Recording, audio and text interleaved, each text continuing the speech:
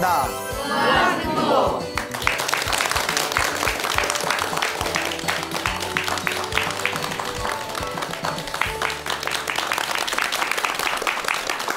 예, 만나서 반갑습니다. 반갑습니다. 예, 광우 스님이라고 합니다. 그 멀리서 또 어떤 소나무 애청자분께서 편지를 보내오셨습니다. 그 짧은 내용인데 제가 좀 읽어드리겠습니다. 광우 스님께 먼저 삼배 올리고 싶습니다. 소나무 광팬이고 봤던 거 보고 또 보고 주말 재방송까지 봅니다. 저는 41세 전북 순창에 살고 있습니다. 작은 절에 다니고 있으며 엄마로 인해 절을 알게 되었습니다. 올봄 유튜브로 법륜 스님 보다가 광우 스님을 알게 되었고 삼보에 귀의한다는 말도 그때서야 알았습니다. 감사하고 또 감사합니다. 광우 스님을 알게 된 후부터 약간의 공부라고 하긴 킥킥 절에 가면 부처님의 수인으로 아미타 부처님인지 보현 문수 지장 보살님도 알게 되었어요. 알아가는 게 재밌고 절에 가면 더, 더 자세히 보고 한편으론 누가 알려줬으면 바램도 있었어요. 질문 드릴게요. 제가 6월부터 집에서 108배 했어요. 참회기도, 가족기도, 보살님께서 집에선 하는 게 아니라고 하시네요. 잡귀신 붙는다고. 그래서 지금은 안 해요. 키키. 제가 어떻게 해야 할지 전 보살님 말 잘 들어요. 그런데 다시 108배하고 싶기도 하고 무섭기도 하고 질문이 답답하죠? 집에선 천수경 반야심경은 잘 독송해요. 스님의 의견, 말씀 기다릴게요. 이상입니다. 예, 이렇게 멀리서 지방에서 편지를 보내오셨는데 거기에 이제 질문이 갑자기 훅 들어왔죠. 뜬금없이 집에서 기도를 열심히 하고 있었는데 108배도 하고 기도하고 있었는데 아마 같이 절에 다니시는 보살님이 집에서 기도하지 말아라 잡귀신 붙는다 라는 이야기를 듣고 그 뒤로 좀 무서워서 이제 뭐 집에서 기도해야 될지 말아야 될지 그렇게 이제 질문을 좀 이렇게 해, 해, 했던 것 같습니다. 그 여러분들한테 음, 드리고 싶은 얘기가 집에서도 기도해도 될까요? 안 될까요? 네. 되나요? 네. 될까요? 네. 그러니까 그 편지 내용에 보면 어, 제 질문 답답하죠? 이렇게 나왔죠? 너무 답답해요.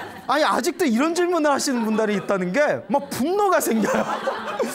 네, 어쨌거나 편지 보내주셔서 너무 감사하고 예 그리고 뭐 모르면 질문해야죠. 근데 저희 소나무 프로를 보면 기도에서 갚이 받은 분들 이야기가 많이 나오지 않습니까?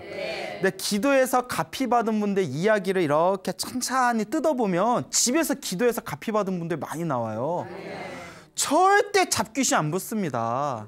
오히려 집에 있는 잡귀신이 집에서 열심히 기도하면 튕겨져 나가요. 자, 그래서 제가 항상 우리 불자분들한테 당부하는 게 우리 불교가 2600년 동안 내려오면서 이 2600년 동안 사실 사상적으로 많은 변화를 일으켰거든요.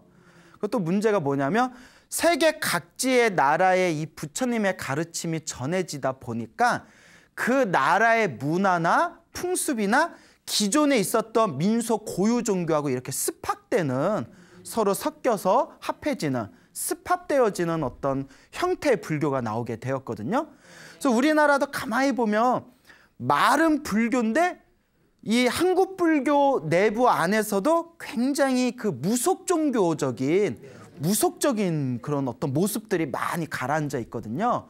그래서 심지어는 진짜 부처님의 가르침과 예전부터 내려오던 민족 종교, 민속 종교의 가르침하고 그걸 구분하지 못하고 헷갈리는 분들도 굉장히 많습니다. 그래서 제가 항상 불자님들 당부드리는 게 우리 불자로서 기도하고 공부하고 수행할 때 가장 중요한 기준이 되어야 하는 것이 바로 부처님의 말씀. 그러니까 부처님의 말씀을 모아놓은 경전을 근거로 삼아서 수행해야 된다. 제가 누누이 말씀드렸죠. 그러니까 부처님은 뭐라고 말씀하셨을까? 이게 가장 중요한 핵심이에요. 그래서 흔히 많이 받는 질문이 스님 제가 시, 어, 뭐 금강경을 독송하는데 직장 생활하느라 바빠서 금강경을 밤에 독송하는데 어떤 분이 금강경 밤에 독송하면 절대 안 된다고 하는데 하면 안 됩니까? 뭔 소리? BTN에서 밤늦게 금강경 틀어주는데 예? 뭔 얘기인지 아시죠? 네. 만약에 금강경을 밤에 기도하면 안 되면 BTN에서 왜 밤에 금강경을 틀어주겠어요? 밤에 이렇게 금강경 나오잖아요. 네. 네, 안 들어봤구나. 그러니까 그러니까 부, 제가 항상 얘기 드리잖아요. 부처님의 가르침은 아침에 기도하면 아침에 기도하는 대로 좋고 밤에 기도하면 밤에 기도하는 대로 좋고 새벽에 기도하면 새벽에 기도하는 대로 좋고 언제든 부처님 기도는 하면 할수록 좋은 거다. 부처님 경전에는 언제 기도해야 된다라는 말이 없어요. 그냥 부지런히 꾸준히 해라. 그것도 어떤 분은 스님 기도할 때 동쪽을 보고 할까요? 남쪽을 보고 할까요? 서쪽을 볼 거예요? 북쪽을 보고 부처님의 경전을 보면 그런 내용 안 나와요. 예. 동서남북 사방팔방에 다 부처님이 계시지 꼭 어느 쪽을 봐야 된다. 이런 예, 가르침은 없습니다. 동쪽에는 동쪽에 부처님이 계시고 서쪽에는 서쪽에 부처님이 계시고 그냥 하면 돼요. 네. 그렇죠. 네. 그러니까 우리가 부처님의 가르침을 이렇게 공부하다 보면 의외로 내가 알고 있는 불교적인 어떤 아르마리가 상당히 왜곡된 게 많았구나라는 걸 느끼게 돼요. 예를 들어 사실 저도 이렇게 어그 소나무에서 가피 이야기를 하다 보면 그 기도하신 분들이 꿈에서 가피 받은 이야기 나오잖아요. 네. 그러면서도 저 항상 꿈에는 집착하지 말라고 했잖아요. 네. 근데 많은 분들이 또 꿈 해몽에 대해서 굉장히 궁금해해요. 네? 스님 나 꿈 좀 해몽해 주세요. 내가 뭐 해몽가요? 내가 어떻게 알아? 네. 자, 근데 부처님 경전에 봐도 꿈에 집착하지 말라고 나옵니다. 그러니까 우리가 부처님 경전의 가르침대로 공부하면 돼요. 그러니까 이와 같이 집에서 기도하면 안 된다라는 거는 굉장히 왜곡된 가르침입니다. 아니에요. 옛날 중국의 100여 년 전에 인광대사라는 연부를 평생 동안 수행해 오셨던 인광대사라는 큰 스님이 계셨는데 그분은 뭐라고 하셨냐면 화장실에서 대소변을 볼 때도 연부라라고 했어요. 화장실에서 대소변을 볼 때도 연부를 끊기지 말라라. 항상 연불을 가슴에 품고 살아라. 대신 화장실에서 대소변 볼 때는 소리 내지는 말아라. 예? 그 소리 내서 연불하지 말고 마음으로는 계속 연불해라.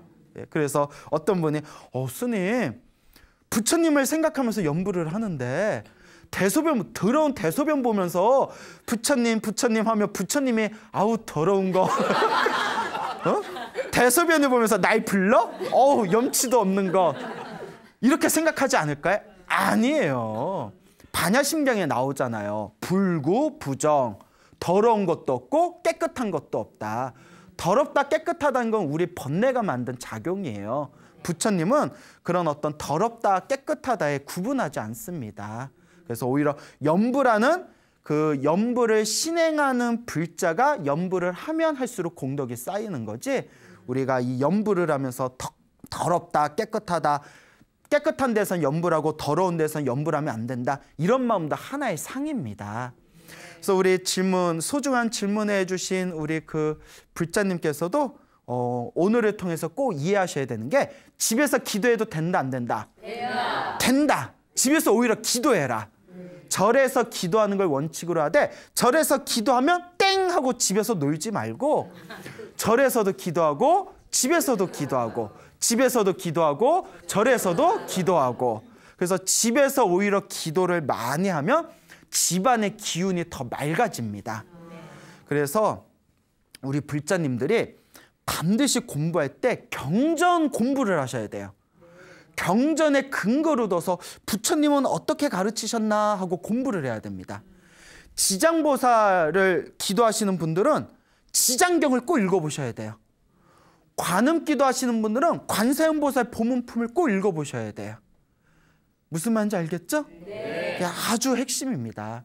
그리고 우리 주변에 보면 실제로 어, 절에는 많이 다녔지만 절에는 오래도록 다녔지만 절에 오래도록 다녔으면서도 왜곡된 지식을 가진 분들이 많아요. 그러니까 불교 공부를 하려면 경전 공부를 많이 하신 스님에게 공부를 해야지 어설프게 절에 많이 다니신 분들 이야기에 귀 기울이지 마세요.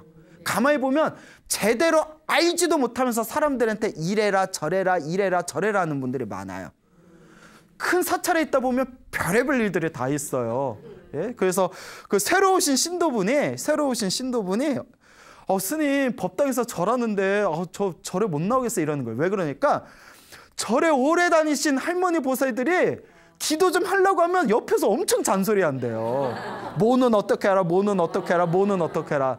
근데 문제가 뭐냐면 제대로 가르쳐 주면 좋은데 스님하고 가르쳐 준 거고 다르게 가르쳐 준다고.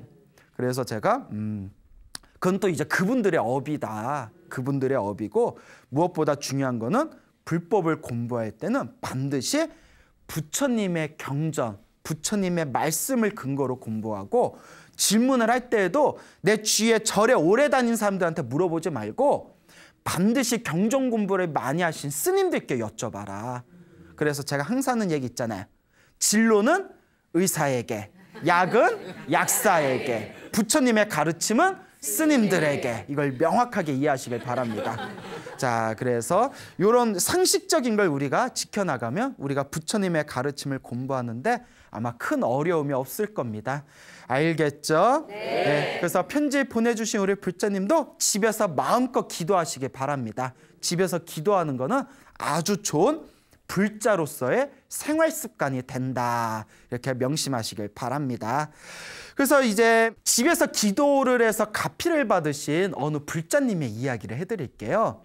지금 저희 화계사에서 공부하고 계시는 불자님이신데 이 어, 여, 여자세요. 여성 불자님이신데 보살님이신데 지금 연세가 50대 초반이세요. 평소에 불교에 대해서 전혀 관심이 없으셨대요. 그러다가 어느 날 유튜브에서 소나무를 듣게 되었는데 너무 재밌더래요. 아, 내 입으로 얘기해서 미안해요. 예. 너무 재밌어서 자꾸 듣다가 기도 이야기, 불교 이야기, 가피 이야기 그러면서 점점 점점 어, 불교에 대해서 관심이 많아졌답니다. 아, 그래서 불교에 대해서 관심이 많아지고 기도도 집에서 시작하게 되면서 아 부처님 가르침을 제대로 공부해 봐야 되겠다 해가지고 제가 있는 화계사 불교대학에 오신 분이에요. 근데 이분께서 저한테 직접 아주 재미난 얘기를 해주셨어요.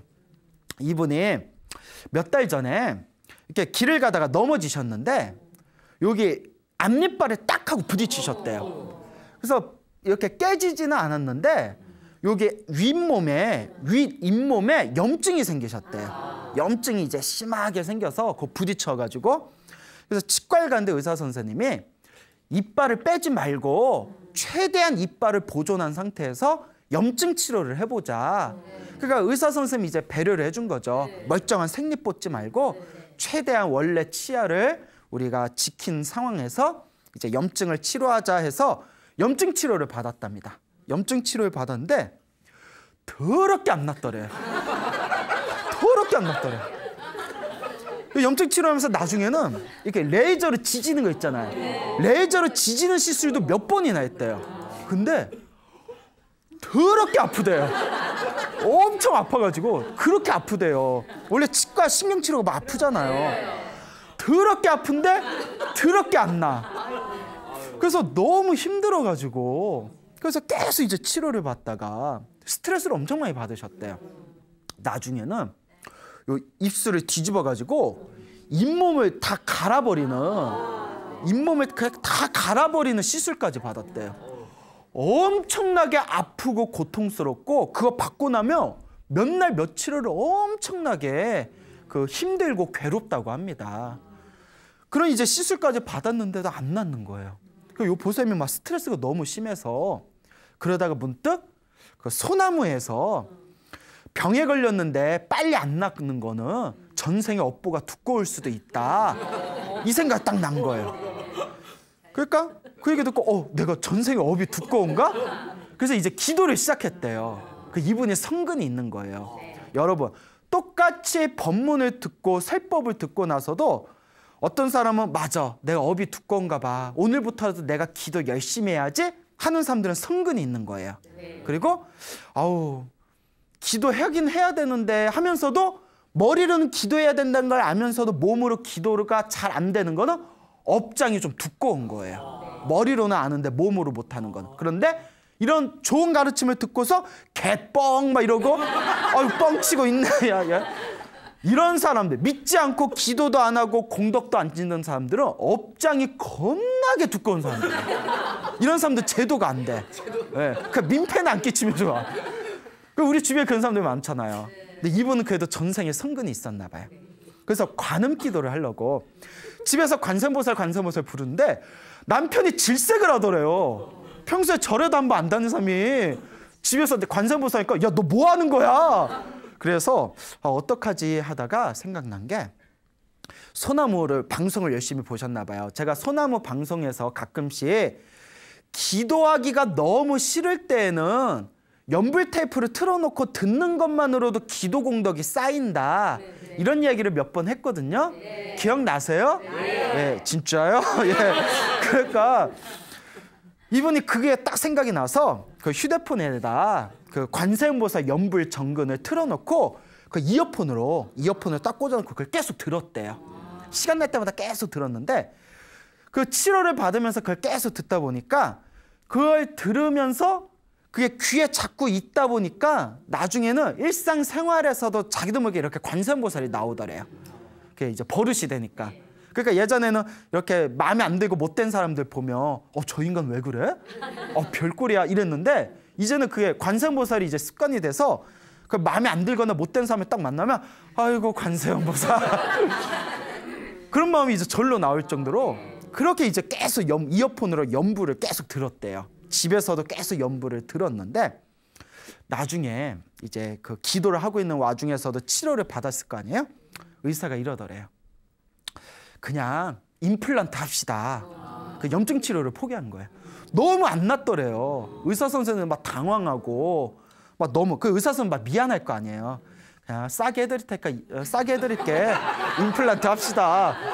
그러니까 여기 보살님도 아 괜히 치과를 바꿀 걸 그랬나 막 이런 뭐 좀 원망하는 마음도 생기더래요. 치과를 바꿀 걸 그랬나 이런 생각 들다가 임플란트를 하기로 했는데 잇몸에 또 잇몸에 염증이 심하다 보니까 뼈가 단단하지 못해서 뼈 이식 시술까지 다 받았대. 그 뼈 이식 수술하는 게 이식이 시술이 있다면서요.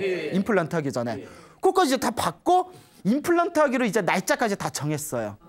그리고 계속 기도를 열심히 했대요. 관세음보살을 계속 귀로 들으면서 그리고 어느 날이었어요. 수술 받기 전에, 예? 임플란트 하기 전에 자 꿈을 꿨어요. 꿈에 집착하면 돼요, 안 돼요? 근데 또 꿈을 꿔버렸어요. 꿈에서 어우, 너무 신기한 거예요, 그분이. 뭐가 꿈에서 여기가 간질간질 거리더래 잇몸이 간질간질 걸어서 어 뭐지? 계속 뭐가 막 간질간질 거려서 이렇게 거울에 가서 이렇게 입술을 까가지고 잇, 잇몸 간질건데 봤더니 뭐 허연 게 꿈틀꿈틀 거리더래요. 허연 게 꿈틀꿈틀 거려서 뭐가 뽁 하고 나는데 허연 구더기가 하얀 구더기가 이렇게 잇몸 거기 염증 난데 이렇게 튀어나온 거예요. 깜짝 놀라가지고 그분이 벌레를 싫어한대요. 뭐 누군 벌레 좋아하겠어요? 벌레가 너무 싫어서 소름이 쫙 돋으면서 무서워가지고 잠에서 퍽 깼는데 이게 무슨 꿈인가 했는데 이분이 방송을 열심히 보신 것 같아. 그 우리가 기도가 피받기 전에 가피 받을 때 막 몸에서 벌레가 빠져나오는 꿈 이런 얘기 많이 했잖아요. 그래서 혹시 나도 이런 마음이 들더래요. 그리고 병원에 갔는데 이제 병원에 딱 누워가지고 이제 이제 시술 받을 준비를 하는데 이제 입술이 이렇게 벌릴 거 아니에요? 아직도 기억난대요. 누워가지고 두근거리는 마음으로 이렇게 준비하고 있는데 아직도 귀에서 생생하게 의사 선생님의 첫 마디가 기억나더래요. 뭐라고 하냐면 어라 이러더라고. 어라? 어라 이러는 거예요. 그러더니 어 염증이 나았어요 이러더래요.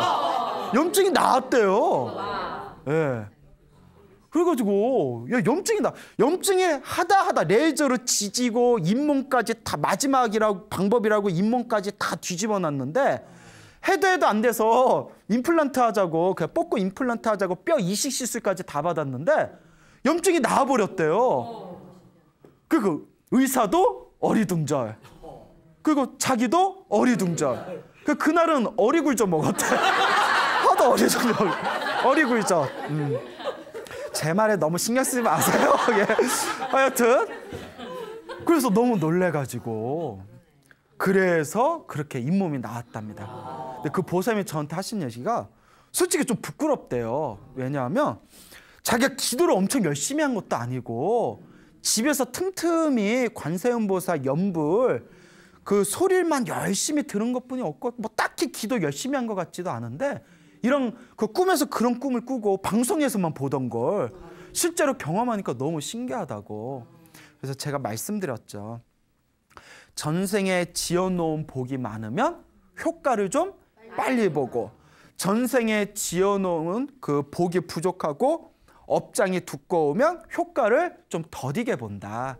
효과를 빨리 보든 더디게 보든 반드시 공덕이 있다라고 이제 말씀을 드렸습니다. 그래서 앞으로도 지금 같은 마음으로 열심히 기도 정진하세요. 그래서 저도 방송에서 할 얘기가 하나 생겨서 좋네요. 네, 고맙습니다. 이렇게 또 말씀을 드렸죠. 그러니까 말로 따지지 말고 머리로 굴리지 말고 묵직하게 부처님의 가르침을 믿고 한번 기도해 보시길 바랍니다. 그래서 또 어느 불자분은 직장 생활을 하다 보니까 집에 일찍 출근하고 그리고 이제 퇴근하고 퇴근해서 집에 오면 또 뭐뭐 뭐 퇴근 뭐 이렇게 출퇴근 시간 뭐 합치면 뭐 왕복으로 해가지고 몇 시간 된대요. 뭐 집에 왔다가 퇴근하면 전 뭐 전철 타고 버스 타고 하면 뭐 한 시간 반 정도를 밖에 있으니까 그 또 집에 오면 기진맥진 하잖아요. 막 어쨌든 막 회식할 때도 있고 뭐 또 집에 오면 또 집안일도 좀 도와주고 애들하고 놀아주고 하면 기도할 시간이 없더래요. 그래서 이분이 오고 가는 출퇴근 시간에 항상 그 시간에 이어폰을 탁 껴놓고 연부를 듣는데 계속 연부를 이렇게 연부를 탁 듣다가 또 이제 근데 그게 이렇게 쌓이고 그러니까 한 시간 동안은 계속 연부를 듣는 거잖아요. 한 시간 이상은. 근데 나중에 자기도 그런 어떤 가피, 은은한 가피를 받았다고. 그러니까 이 생활 속에 우리 불자들은 생활의 짜투리 시간을 잘 이용해야 됩니다. 기도할 시간 없다 없다 하지 마시고 여러분들도 그 틈틈이 출퇴근 시간이나 집에서 뭐 남는 시간에 틈틈이라도 기도하시면 반드시 알게 모르게 어, 우리의 삶의 은은한 가피를 얻게 될 것이다. 명심하시길 바랍니다. 네. 알겠죠? 네. 음. 그래서 이제 또 우리 소나무 애청자분께서 또 직접 얘기해 주신 또 아주 재미난 이야기가 있습니다. 그 지금 연세가 75 정도 되시는 보살님이신데 근데 이제 뭐 아들 문제로 이렇게 상담을 하셨어요. 그 약 20년 전쯤에 아들이 이제 군대를 갔답니다. 작은 아들이 군대를 갔는데 20여 년 전이면 20 몇 년 전이면 지금보다도 좀 군 생활이 척박할 때였거든요. 네. 그러니까 군대에 가면서 요 아들이 막 징징거리더래요. 엄마 어떻게 그때 이제 애잖아요. 스무 살, 스물한 살. 군대 가면 못된 고참들 만나면 막 3년 동안 고생한다는데 어, 나 어떻게 막 이러더랍니다. 그래서 어, 엄마가 기도 많이 해줄게 괜찮아 하고 이제 그 훈련소에 입대를 했는데 그 논산훈련소에 갔대요. 근데 그때 지금은 저도 잘 모르겠는데 군대 제대한 지 오래돼서 그 당시에 논산훈련소에서 이제 육주 훈련을 받으면 육주 맞나요? 네 맞습니다. 예 맞죠. 예 어, 고맙습니다. 예 사진과 육주가 헷갈려. 예 논산? 어, 어 논산. 예 그래요. 그래서 이제 육주 훈련을 마치면 예 가족들 면회한 뒤에 자대 배치 받았었나? 예, 맞군요. 그러니까 육주 훈련 딱 마치면 가족들이 와서 면회하고 면회하고 이제 각자 자대 배치를 받았대요. 뭐 후방으로도 가고 전방으로도 가고 그런데 이제 육주 훈련에 이제 육주 훈련 동안 어머님께서 보살님께서 관세음보살을 열심히 기도를 하셨대요. 연불 관세음보살 관세음보살 관세음보살 하염없이 기도를 하셨는데 이제 훈련이 끝날 때쯤에 어느 날 이제 방에서 집에서 이렇게 연불을 하고 있는데 비몽사몽에 누가 쓱 자기 앞에 나타나더래요. 근데 모습은 모습은 기억이 안 난대요. 하여튼 무언가가 자기 앞에 쓱 나타나더니 자기 눈앞에 손이 쓱 나오더래요. 손이. 뭐, 손 처음 봐요? 뭐, 왜, 왜? 손이 쓱 나오더니 뭘 이렇게 방바닥에다가 자기 코앞에다가 뭘 이렇게 놓고 사라지더래요. 그 환상으로 환상이죠. 뭘 놓고 사라져서 뭔가 하고 봤더니 마늘 한쪽을 놓고 사라지더래요. 마늘 한쪽. 그러니까 환상이에요. 환상으로 마늘 한쪽을 딱 방바닥에 놓고 사. 그 마늘 한쪽. 뭐야? 마늘 한쪽이 뭐? 마늘 한쪽을 이게 뭔 뜻이지? 이해가 안 되잖아요. 왜 마늘 마늘? 왜 마늘을 왜 내가 이걸 기도하다가 왜 봤지? 근데 너무 생생하게 봤대요.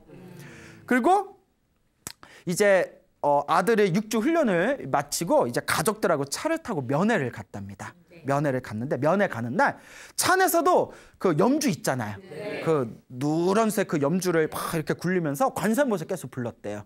우리 아들 군 생활 편하게 자대 배치 잘 되게 도와주십시오 하고 하염없이 관세음보살 불렀는데 또 순간 환상을 보셨대요. 뭘 그렇게 자주 봐? 환상 속에 그대도 아니고 환상을 보셨는데 염주를 돌리다가 여기서 뭐가 메주콩 아시죠? 메주. 노란 노란 메주콩 하나가 염주에서 톡 하고 떨어지는 환상을 보셨어요. 깜짝 놀란 거죠. 환상으로. 그러니까 마늘 한 쪽, 메주콩 하나. 이게 무슨 뜻일까? 이해가 가세요? 안 가시죠? 그러니까 저도 어, 뭐지? 이게 뭘까? 이게 뭘까? 그 그게 이제 화두처럼 된 거예요.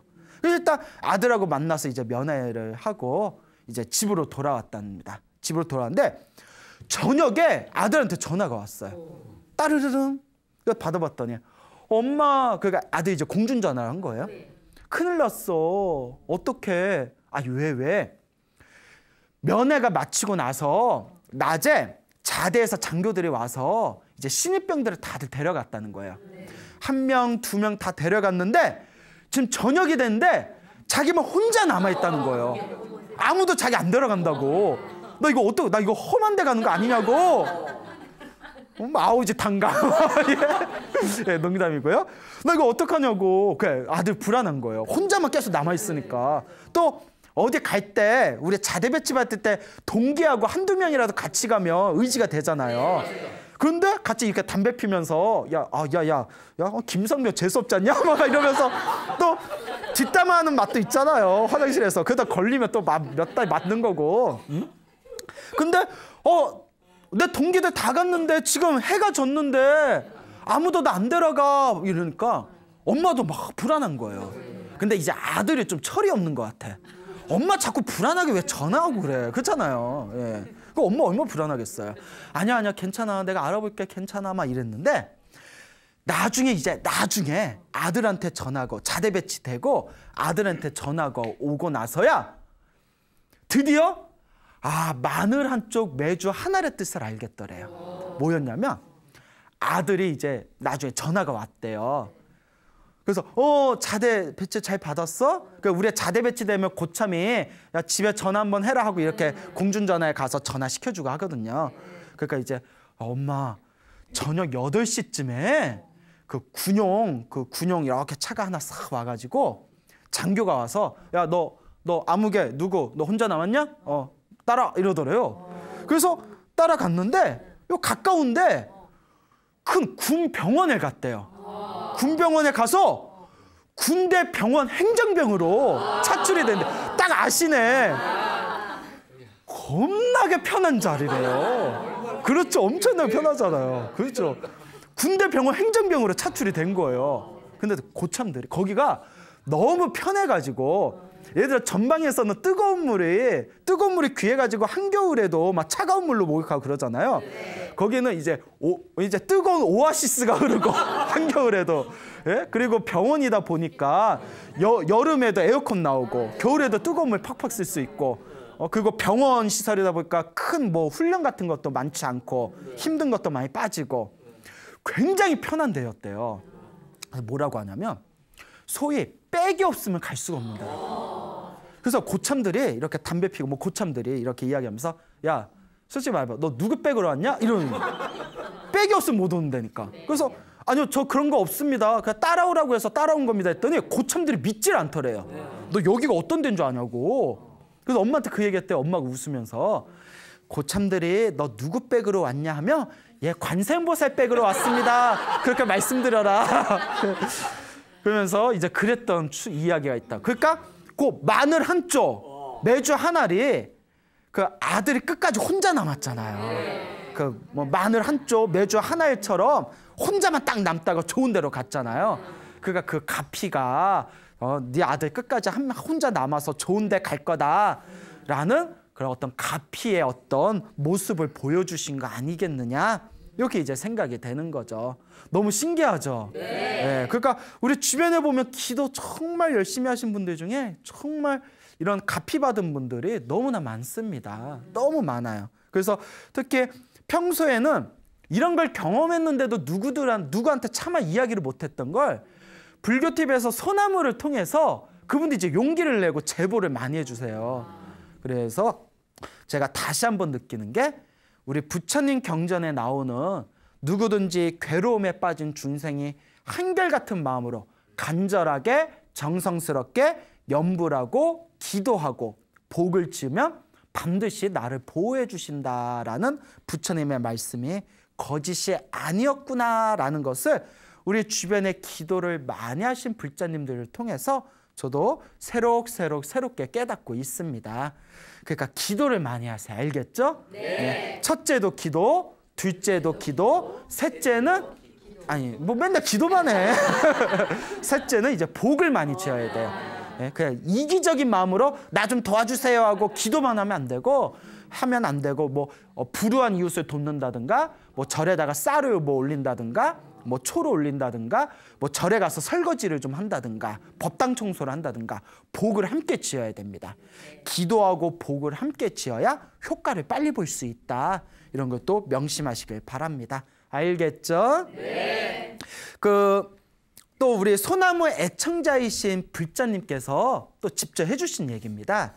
지금 연세가 이제 60대 중후반이신 우리 그 보살님께서 소나무의 아주 애청자라면서 또 재미난 얘기를 해주셨는데 지금 부산에 살고 계세요. 부산에 있는 어, 모 사찰에서 이제 열심히 기도 생활하고 계시다고 하는데 그 굉장히 재미난 얘기를 해주셨어요. 그분 원래 고향 김천이었답니다. 그 김천 직지사라는 큰 절이 있는데 가보셨어요? 예, 그냥 한번 가봐요. 예.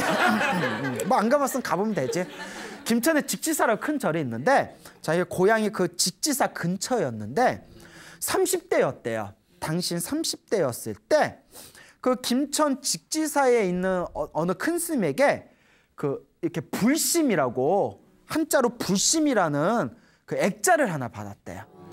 그래서 액자 표구를 아주 크게 해가지고 그걸 이제 집에다가 자기 방 자는 방에다 이렇게 걸어놨답니다.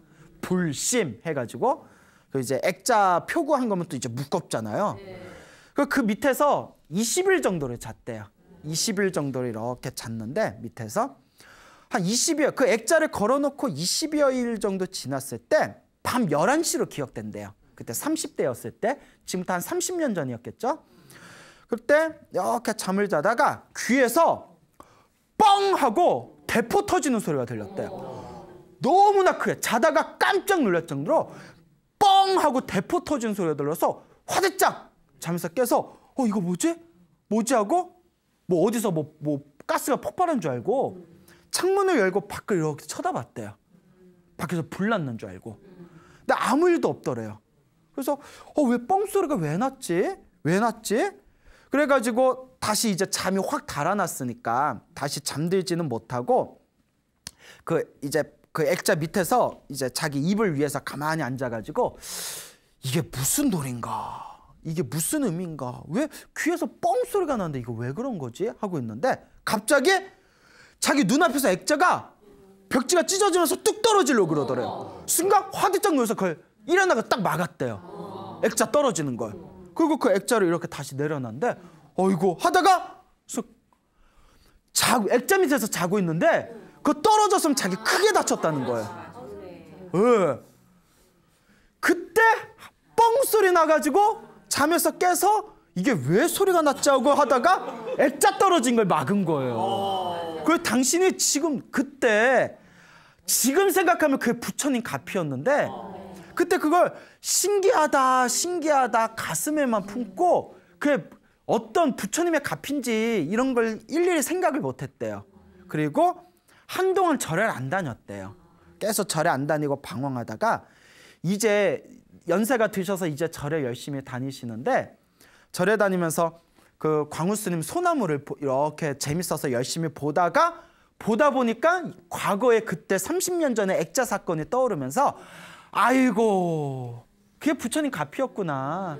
그래서 그때 내가 미리 알았더라면 그때 열심히 내가 절에 다니면서 더 많이 내가 기도 정진했을 텐데 라고 아쉬워하시면서 지금은 우리 소나무 방송 열심히 보시면서 매일매일 기도를 열심히 하고 계신답니다. 그래서 이런 것들 보면 너무 신기하지 않습니까? 네. 네. 그래서 부처님의 가피라는 것이 정말 묘하다. 근데 어떤 분들은 또 그런 얘기예요. 스님, 저는 저도 절에 열심히 다니고 기도 열심히 했는데 막 저는 그 사고 같은 거 안 막아주고 크게 사고 나고 한 적도 있었습니다. 그럼 왜 그런 겁니까? 이렇게 이제 질문하신 분도 있거든요. 그때 항상 드리는 얘기가 있어요. 내가 지은 업은 피한다 못 피한다? 못 피해요. 그러니까 기도를 열심히 해도 이 업을 피하기가 힘들거든요. 대신 크게 받을 걸 작게 받는다. 제가 항상 말씀드렸잖아요. 기도 열심히 했는데 나쁜 일이 생기는 거는 크게 받을 걸 작게 받은 거고 내 업장이 소멸하고 있는 과정입니다. 그러니까 전생에 지어놓은 업보가 좀 약할 때는 사고가 나서 다치는 걸 미연에 막아버리고 업이 약하니까. 근데 기도를 열심히 했는데도 내가 받아야 할 업이 너무 두꺼울 때는 크게 받을 걸 작게 받기 때문에 이제 크게 다칠 걸 좀 작게 다치거나 아니면 죽을 뻔한 걸 크게 다친 걸로 끝나버린다는 거죠. 그리고 경에 보면 율장이나 경에 보면 이런 내용도 나와요. 죽진 죽어요. 못 피하고 죽진 죽어요. 근데 왜 죽냐? 죽어서 지옥에 떨어질 거, 지옥에 떨어질 업이었는데 죽음은 피할 수 없었지, 만 죽은 뒤에 지옥에 떨어지지 않고 천상에 태어나는 내용이 또 나옵니다. 무슨 말인지 알겠죠? 그러니까 좀 정리해 볼게요. 어, 업이 내가 받아야 할 업보가 약해, 약해서 쉽게 피할 수 있는 거는 미연에 막아버리게 되고 그리고 너무나 업이 두꺼워가지고 크게 받아야 될 거는 크게 받을 걸 몸에 다친 걸로 작게 받고 무슨 말인지 알겠죠? 그리고 죽어야 될 업보가 있었을 때는 죽어야 할 업보가 있었을 때는 크게 다친 걸로 끝나고 그리고 열심히 기도했는데도 그냥 주, 결국은 죽어버린 거는 죽어서 지옥까지 가야 할 큰 업이었는데 그 지옥까지 가야 할 업보는 소멸되고 천상계에 태어나게 되는 그런 일련의 내용들이 경전 공부를 하다 보면 그런 이렇게 구석구석에 이런 내용들을 발견할 수가 있습니다. 그래서 제가 이렇게 말씀드리는 거는 절대 제가 지어낸 게 아니라 경전에 다 근거가 있는 스토리들이에요.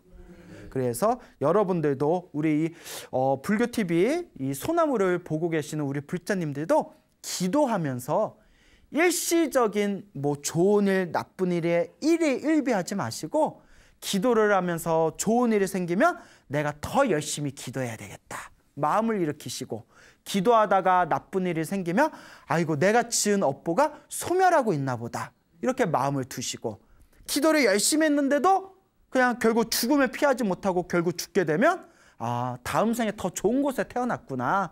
라는 믿음이 있어야 됩니다. 또 이렇게 얘기하면 야 겁나 둘러막네. 어? 아예 못 아예 못 뭐 댓글을 못하게 아예 그냥 다 둘러치네. 물론 뭐 충분히 불교에 대해서 비판적인 비관적인 생각이 있는 분들은 얼마든지 비판할 수 있는 부분이지만 엄연히 부처님 경전에 나와 있는 내용들입니다. 그래서 우리 부처님께서도 중생이 우리 중생이 과거 전생을 기억할 수가 있고 다음 생을 꿰뚫어 볼 수 있다면 우리가 부처님의 이 인과 업보의 가르침을 아무도 의심하지 않을 텐데 우리 중생들은 너무나 미혹되어 있어서 이제 자꾸 자기의 주관적인 생각으로 부처님의 가르침을 재단하려 한다. 하지만 여러분 우리 주변에서 이와 같이 기도의 가피를 통해서 이 불심을 일으키고 가피를 받고 선업과 공덕을 쌓은 이 증인들이 너무나 많습니다. 그러니까 누구는 효과 있고 누구는 효과 없는 게 아닙니다. 다만 업, 업보가 약하면 효과를 좀 빨리 보고 업보가 두꺼우면 효과를 더디게 볼 뿐입니다. 이번 생에 지어서 이번 생에 받는 경우도 있지만 이번 생에 지은 걸 다음 생에 더 크게 받는 가르침도 굉장히 많습니다. 여러분들도 이 부처님의 가르침을 만났을 때 마음으로 의심하고 비방하고 비난하는 그런 자신의 이 약하고 의혹스러운 마음들을 다 내려놓고 한번 부처님의 경전 공부를 꾸준하게 하면서 실제로 내 몸으로 내 마음으로 기도하고 공덕을 쌓는 마음을 키워가시길 바랍니다. 알겠죠? 네. 그거 얼마나 좋아요. 우리 절에 다니면 봐요. 절에 다니면 저에서 막 돈 내라고 막 요구 안 하잖아요. 그렇잖아요. 니들 돈 많이 내야 극락 간다? 이런 얘기 안 하잖아요. 절에서는 안 해요. 그렇게 얘기한 데 있으면 다니지 마세요. 어, 좋은 절 얼마나 많은데. 뭐 돈을 내라고 요구해요. 뭐 빡세게 기도 뭐 어, 기도하다가 피눈물이 흘릴 정도로 무릎이 까져가지고 뼈가 드러날 정도로 기도해라. 이렇게 안 시키잖아요. 그렇죠. 그러니까 아까 이야기 드린 불자님도 그냥 연불 휴대폰으로 연불 열심히 듣는 것만으로 갚이 받았잖아요. 세상 이런 가르침이 어디 있어요. 그런데도 안 하는 거는 자기가 게을러 터져서 그런 거예요. 그러니까 근데 불교에서 이 게으름 자체가 업보고 업장이래요. 그러니까 이런 업보와 업장에 속지 마시고 어, 경정 공부하기 힘들면 불교 TV라도 열심히 보세요. 알겠죠? 네. 네, 불교 TV 열심히 보시고 그리고 우리 소나무 법문도 열심히 들으시고 집에서 틈틈이 기도하고 또 틈틈이 공덕 짓는다면 여러분들 삶에 반드시 아름다운 불보살님의 은혜가 반드시 여러분들과 함께 할 것입니다. 또 우리 멀리서 불자님께서 또 소중한 편지를 보내오셨어요. 그래서 내용이 너무 좋은데 근데 보내주신 편지가 양이 좀 많아가지고 제가 조금 많이 편집을 했습니다. 예, 그래서 원래 의미는 훼손하지 않는 선에서 내용을 조금 줄였는데요. 한번 여러분들 잘 들어보시기 바랍니다. 네. 안녕하십니까 광우 스님. 저는 천안에 살고 있는 천년 불자입니다. 저는 평소에 광우 스님 법문을 많이 듣고 있습니다. 너무 귀에 쏙쏙 잘 들어오고 핵심적인 내용을 너무 쉽게 잘 설명해 주셔서 평소에 광우 스님 법문을 열심히 듣고 있습니다. 저는 어릴 때부터 어머니께서 연불 수행을 많이 하시는 모습을 보고 자라왔습니다. 그러던 중에 어머니께서 어느 날 능엄주에 대해 말씀해 주시다가 능엄주가 너무 길어서 다 읽기 힘들 경우에는 시타타 파트라 비밀한 가타 이 구절만이라도 외우면 많은 도움이 될 것이라고 말씀하셔서 그때부터 저는 시타타 파트라 비밀한 가타 능엄주 진언을 외우고 또 외웠습니다. 그런데 저는 불심이 약하고 의심이 많은 성격인지라 어느 날 이런 생각을 하게 되었습니다. 지옥이란 곳이 정말 있을까? 이런 생각을 갖고 어느 날 사찰에서 절을 하다가 지장보살님께 합장하고는 이런 마음을 일으켰습니다. 지장보살님, 제가 지옥을 정확하게 볼 수 있게 해주십시오. 이렇게 기도하고 나서 집에 들어와 꿈을 꾸게 되었습니다. 제가 어떤 버스를 타고 갔는데 저녁 노을이 붉게 지는 하늘이 있는 곳이었습니다. 도착하니 어떤 분이 여기 오신 분들은 하얀색 옷으로 갈아입고 자유롭게 지내면 된다고 하셨습니다. 그래서 옷장에다가 자신이 입고 있던 옷을 각자 옷장에 넣고 하얀색 옷으로 갈아입고 3일을 지냈습니다. 그곳은 3일 동안 저녁 노을 상태로 그대로 있는 곳이었습니다. 3일째 되던 날 어떤 분이 오더니 각자 옥장에서 자신의 옷을 꺼내 입고 버스에 타라고 하였습니다. 그래서 제 옷장을 열었는데 제 옷이 사라진 것이었습니다.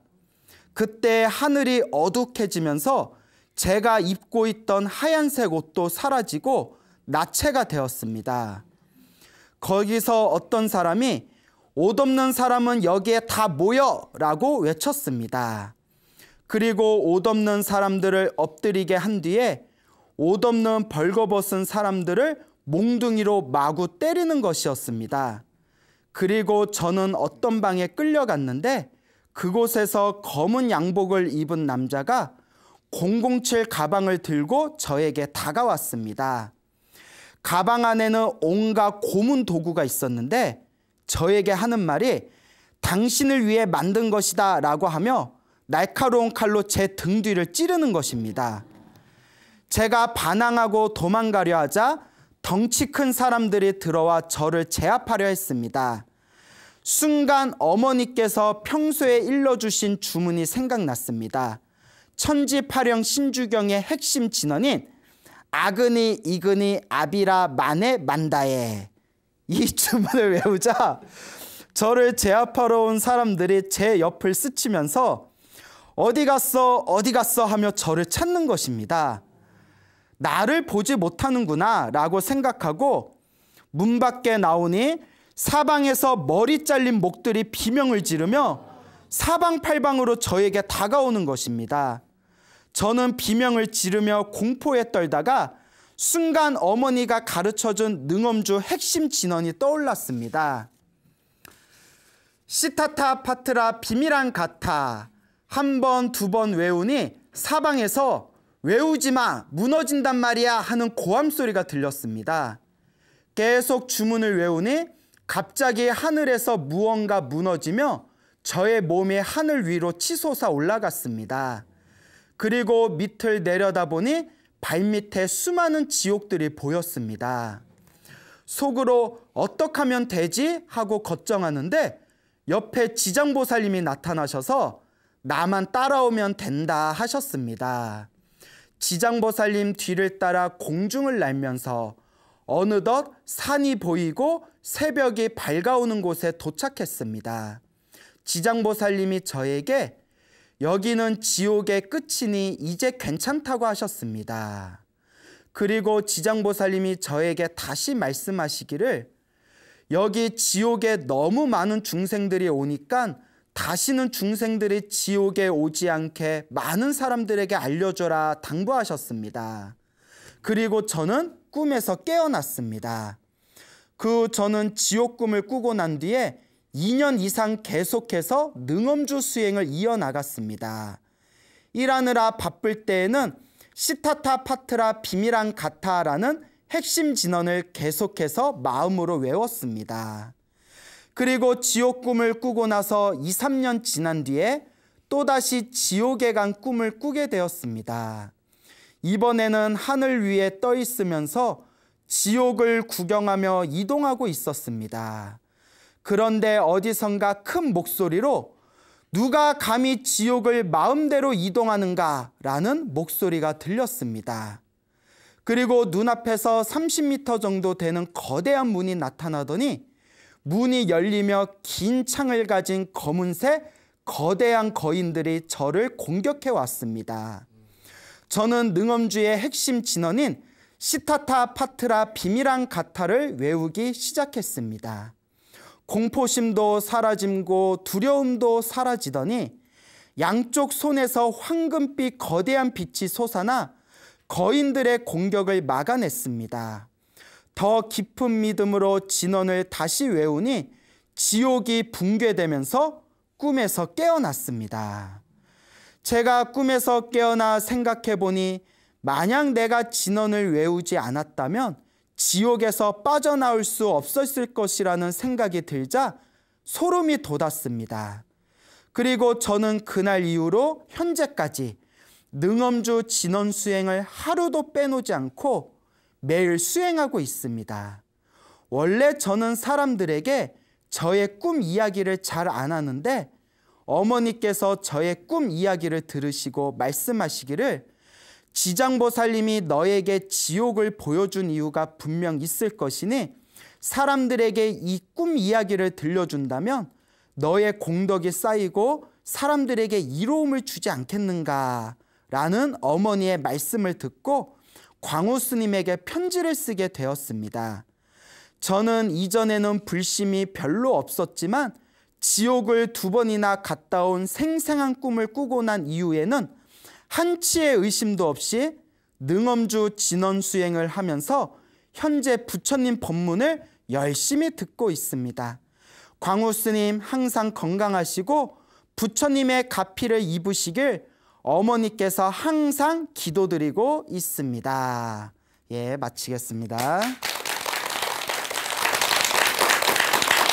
예, 어떻게 편지 잘 어, 읽어드린 거잘 들어보셨습니까? 네. 예, 그러니까 어느 젊은 불자님이 있었는데 그 이제 어머니께서 더 확실하신 불심이 깊으신 분이신가 봐요. 그러니까 능엄주라는 그 불교의 유명한 주문이 있어요. 예전 소나무에서도 능엄주 가피 이야기 말씀드렸는데 기억나세요? 네. 예, 기억나요? 그 표정들이 예, 그래요. 그래서 능엄주를 능엄주가 한 3천 자 정도 돼요. 다 외우려면 시간이 오래 걸리니까 어머니가 능엄주의 이제 핵심되는 부분. 아까 뭐 시타타 파트라 뭐 그거 있잖아요. 비밀한 같아 요거라도 외우라. 그래서 이제 그걸 외우고 기도하는데 우리가 불심이 약할 때는 막 여러 가지 의심이 생길 수 있잖아요. 그래서 지옥이 있을까? 윤회가 있을까? 인과 업보가 정말 있을까? 그래서 지장보살님 앞에서 이렇게 절을 하다가 지장보살님 지옥이 정말 있습니까? 확실하게 보여주십시오라고 했는데 그 꿈에서 이제 지옥을 본 이야기가 펼쳐진 거예요.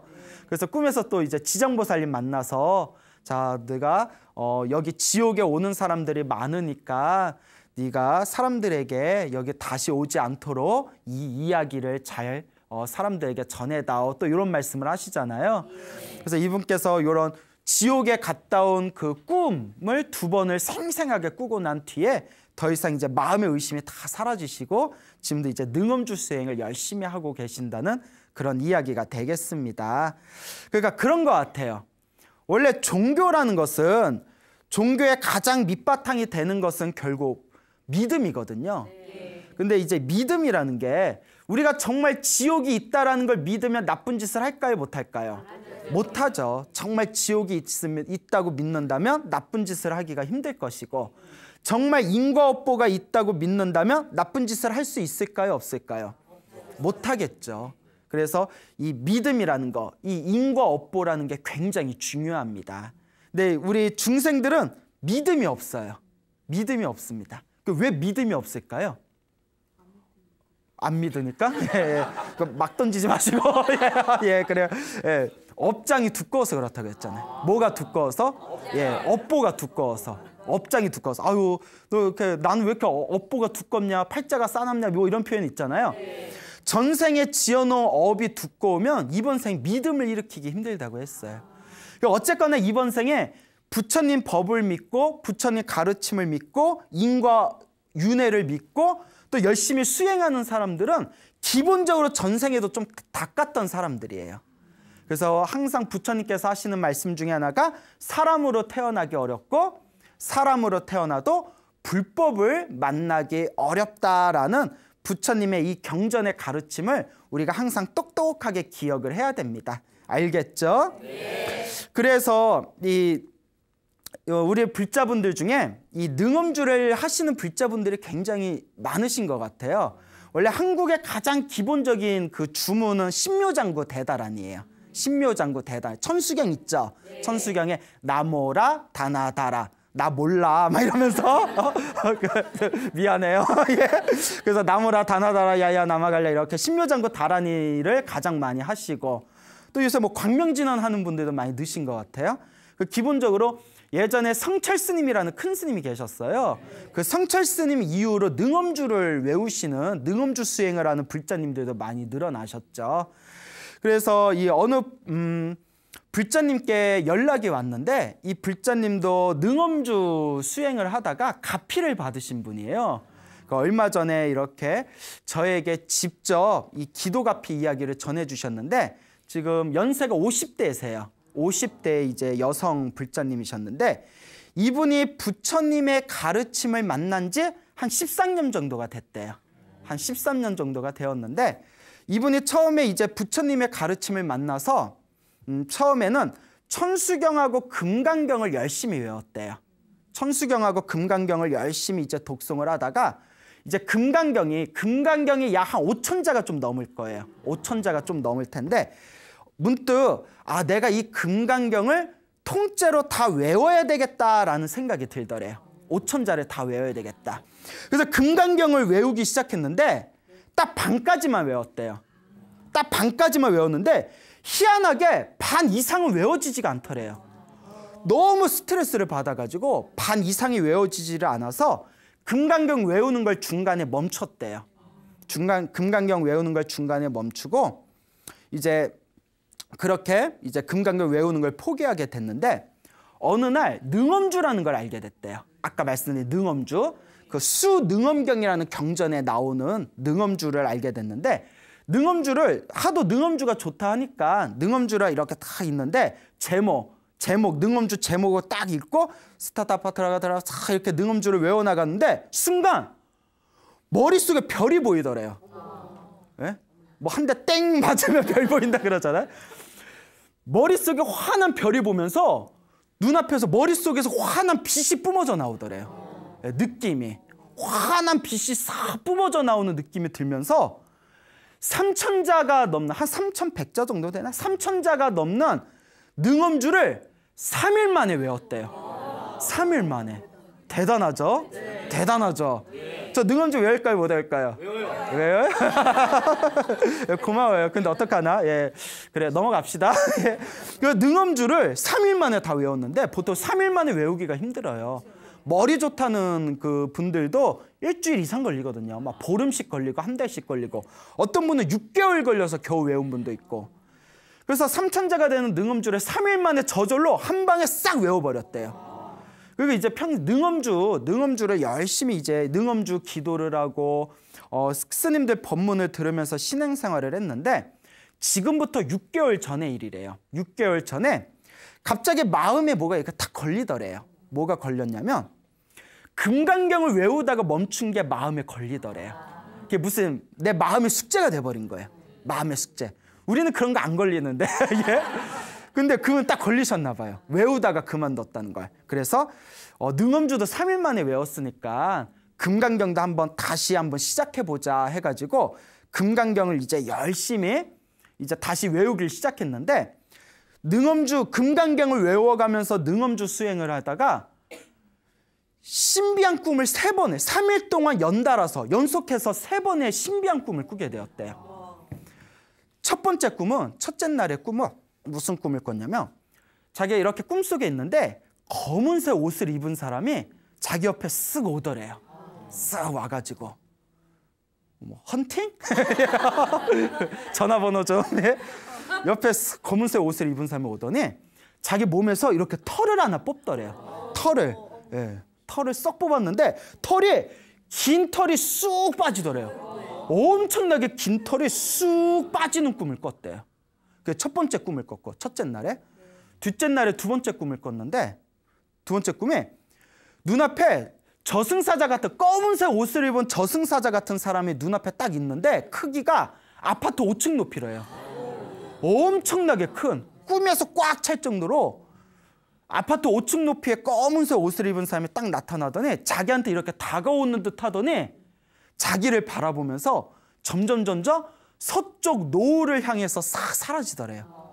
무심한 표정을 지으면서 서쪽 노을로 싹 사라지는 두 번째 꿈을 꿨고 셋째 날의 세 번째 꿈이 자기가 어디 어디 어느 곳에 싹 갔는데 그곳에 하얀색 옷을 입은 하얀색 옷을 입은 엄청나게 잘생기고 멋지게 생긴 남자고 여자 한 명씩이 있더래요. 남녀 한 명이 남녀가 이렇게 있는데 하얀색 옷을 입은 멋지게 생긴 이 남녀 이 두 명이 자기를 딱 보더니 막 반가워하면서 오랫동안 기다렸다. 왜 이제야 왔느냐 하고 막 반가워해주는 꿈을 꾸었답니다. 이렇게 이제 3일 동안 연속해서 세 번째 세 가지 꿈을 꿨는데 놀라운 게 이 보살님이 그 꿈을 꾸기 얼마 전부터 몸에 좀 이상한 증상이 있었대요. 그게 몸에서 자꾸 그 초록색 이물질이 흘러나왔대요. 근데 저는 그게 무슨 말인지 몰라서 몰랐는데 그 여자 몸에서 초록색 이물질이 나오는 게 굉장히 안 좋은 증상이래요. 예. 그래서 막 몸에서 그 초록색 이물질이 나와서 아 이거 병원 가서 진단받고 치료받아야겠다 막 이렇게 걱정하고 있었는데 그때 첫 번째 꿈에서 무슨 꿈을 꿨다고 했죠? 털을 쑥 뽑는 꿈을 꿨다고 했죠. 그 꿈을 딱 꾸자마자 그 증상이 흔적도 없이 사라져 버렸대. 예, 어 리액션 좋아요. 집에서 연습하세요. 예. 예, 흔적도 없이 싹 사라졌답니다. 예, 그래가지고 자기가 너무나 그런 몸에 그 건강해진 가피를 얻었고 이 부처님 가르침을 만나기 전에는 항상 마음이 공허하고 허전했대요. 그게 이제 깊어지면 우울증이 되는 거거든요. 그래서 뭘 해도 마음이 허전하고 공허. 사람들 만나서 놀 때 신나게 놀고 집에 오면 마음이 허전하고 텅 빈 것처럼 공허했는데 너무너무 힘들었는데 이 부처님의 불법을 만나서 기도 수행을 열심히 한 뒤로는 마음에 허전하고 공허한 그 느낌이 흔적도 없이 완전히 사라졌대요. 지금 너무나 자기가 행복하다고 마음이 너무나 편안하고 행복하다고 이게 다 부처님의 가르침의 가피인 것 같습니다라고 그런 이제 말씀을 저에게 직접 해주셨습니다. 여러분 요새 우리나라도 점점 이제 어떤 선진 인구 어, 계열에 가면서 이 물질 문명이 풍요로워지다 보니까 이 사람들이 우울증이 늘어난 사람들이 많아졌어요. 그렇잖아요. 근데 우울증이 없는 사람들은 우울증을 좀 가볍게 여겨요. 야, 어? 저기 스님 저 우울증 있어요. 나가서 운동해. 게으르니까 우울증이 생기지. 근데 이게 상처받는 말일 수 있거든요. 우울증 걸린 사람 되게 힘들대요. 얼마나 힘들겠어요. 그래서 의사 선생님들도 TV에 나와서 우울증 있는 사람들 보면 굉장히 이렇게 잘 보듬어 줘야 된다. 또 우울증 있는 사람은 우울증 걸린 사람이 또 신경 예민해져서 잘해주면 잘해줄수록 또 나 병자 취급하냐고 또 그런대요. 그러니까 우울증 있는 사람은 이렇게 그 아주 비싼 도자기를 도자기를 이렇게 다 다루듯이 조심하게 해야 된다고 하는데 근데 이 우울증이 사실 마음의 병이지 않습니까? 그 제일 좋은 거는 의사 진단 받고 약이 필요하면 약도 드시고 이렇게 의사의 조언을 따라 가지고 치료를 받으시되 제 주변에 저한테 실제 해주신 얘기가 우울증 있는 분들이 절을 하거나 기도를 해서 너무너무 좋아졌다는 얘기를 제가 주변에서 굉장히 많이 듣습니다. 아, 스님 제가 우울증 있었는데 소나무 법문 듣고 나서 기도하고 기도하면서 너무나 어, 좋아졌어요. 이런 이야기를 굉장히 많이 듣습니다. 그러니까 여러분들도 마음이 공허하거나 외롭거나 허전할 때 절대 주저하지 말고 무엇을 열심히 해라? 예, 기도를 열심히 해야 됩니다. 기도를 많이 해야 돼요. 알고 지었건 모르고 지었건 과거 전생에 내가 지은 업보를 모두 소멸합니다 하면서 이 업장 소멸, 이 참회의 기도를 올리면서 여러분들의 마음자리를 다 잘 다스리시다 보면 여러분들의 그 공허하고 허전한 마음도 언젠가는 씻겨져 나가게 될 것이다 라는 걸 명심하시기 바랍니다. 그러니까 그런 얘기를 많이 들어요. 어떤 분은 불면증이 굉장히 심했는데 이 얘기를 굉장히 많이 듣습니다. 소나무를 듣고 있으면 잠이 온대요. 근데 어 그래서 와 이러다가 갑자기 내 이야기가 그 졸린 이야기는 아닐 텐데 근데 잠이 안 올 때 소나무 듣고 이렇게 듣다 보면 잠이 온대요. 저 소나무 법문 듣고 불면증 나았던 분이 몇 분 저한테 직접 얘기해 주셨어요. 꽤 있어요. 그 어떤 분은 공황장애가 있어요.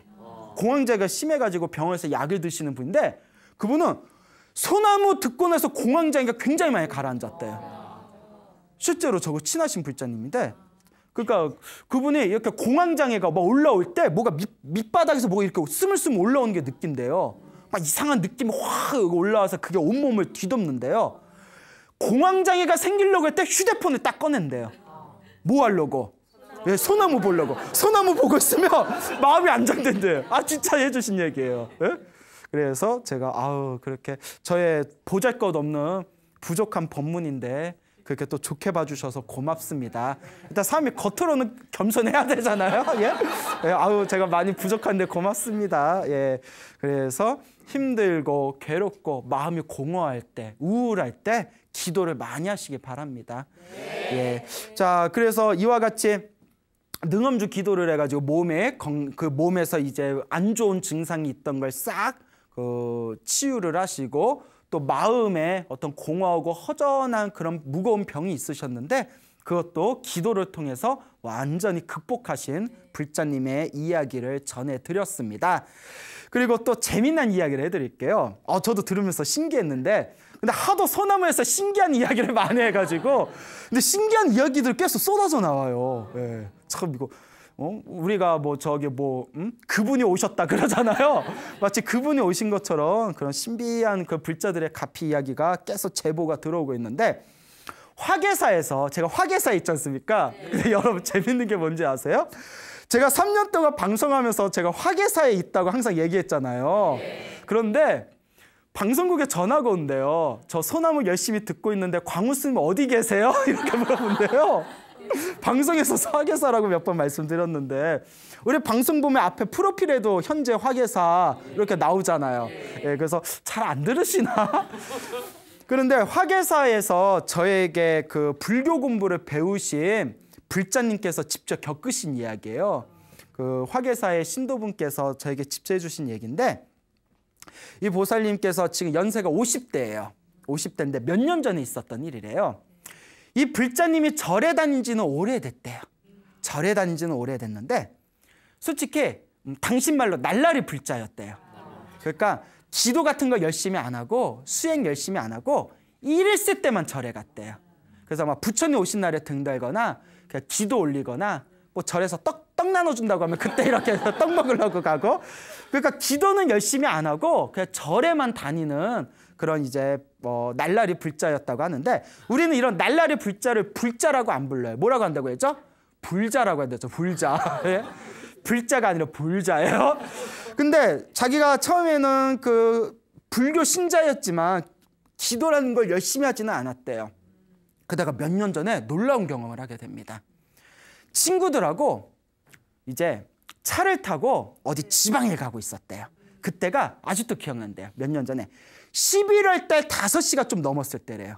그 날이 이제 어둑어둑해질 때죠. 11월 달. 11월 달 오후 5시가 이렇게 넘어갈 때였으니까. 그때 어둑어둑해질 때 이제 친구들하고 친구 4명하고 자가용을 타고 지방을 싹 내려가고 있었는데 그게 경차였대요. 경차. 경차면 이제 가볍잖아요. 예. 주차에는 용이하지만 뭐 그런 얘기 있잖아요. 경차 타고 다리 건너다 예, 태풍 불면 날아간다 뭐 이런 표현 있잖아요. 예. 근데 이제 경차를 타고 쑥 가는데 친구가 운전을 하고 있고 자기가 조수석에 앉아 있었대요. 조수석. 그리고 뒤에는 또 친구 두 명이 타고 있고 두 명이 타고 있었는데 가다가 자기가 조수석에 타고 있는데 안전벨트를 안 하고 있었대요. 안전띠를 또 안 하고 있었어요. 이건 되게 위험한 거예요. 안전띠는 무슨 띠? 생명띠. 다 알잖아. 네? 생명띠. 그만큼 이제 생명이 중요한 거예요. 그런데 조수석에서 안전띠도 안 메고 막 친구들하고 왁자지껄 이렇게 가고 있는데 그때 좌회전을 할 때였대요. 좌회전을 싹 하는 순간 앞에서 에쿠스가 에쿠스가 질주를 하면서 자신들이 타고 있는 차를 좌회전하는 순간 에쿠스가 질주를 해가지고 뭐 음주운전이었는지 졸음운전이었는지 그건 모르겠는데 차를 그대로 박살을 낸 거예요. 그 경차니까 경차가 막 뒤집어진 거죠. 허공에 떠서 막 뒤집어졌는데 뒤집어지는 순간 꽝 하고 뒤집어지는 순간 보살님 머릿속에 딱 한 생각뿐이 안 들더래요. 무슨 생각이 들었을까요? 예? 엄마? 뭐 관세음 보살. 꽝 하는 순간 자기도 모르게 관세음 보살이 생각나요. 관세음 보살. 그러니까 평소에 기도 안 했어도 그래도 귀로 들어놓은 게 있는 거예요. 그래서 여러분 제가 항상 불자들한테 하는 얘기가 있어요. 기도 안 하더라도 절에는 꾸준히 가라. 절에 가서 기도는 안 하더라도 스님들 법문은 꾸준히 들어라. 알게 모르게 어디에 다 들어간다? 예, 내 머릿속에, 내 무의식에 다 들어가 있다. 그러니까 그 보살님도 평소에 기도 안 했는데 위급한 순간에 자기도 모르게 뭐가 튀어나오더라? 관세음보살. 관세음보살, 관세음보살 하다가 막 차가 뒤집혔는데 나중에 봤는데 차가 처참하게 일그러져 버렸대요. 완전 폐차 수준이 됐대요. 그 차가 뒤집어져서 관세음보살 외치다가 순간 저 의식에 띵 하다가 정신을 차렸는데 서서 막 삐뽀 삐뽀 하면서 막 구급차가 오고 봤더니 자기는 차 안에 있고 친구들 창밖으로 다 튕겨 나갔대요. 근데 놀라운 게 정작 안전벨트를 한 자기는 차 안에 그대로 있는 거예요. 안전벨트를 안 한 자기는. 안전벨트 보통 안 하면 조수석에 있으면 튕겨 나가잖아요. 그리고 그 아무렇지도 않게 가만히 있는 거예요. 차 안에. 네, 친구들은 다 밖으로 튕겨서 나가고. 그리고 이마에서 뭐가 주르륵 하고 피가 흘러내려오더래요. 근데 몸을 움직이지 못하겠더래. 의식은 살아있는데. 거기서 그 보살님이 뭐 했을까요? 관세음보살. 관세음보살, 관세음보살, 관세음보살. 그 관세음보살만 불렀대요.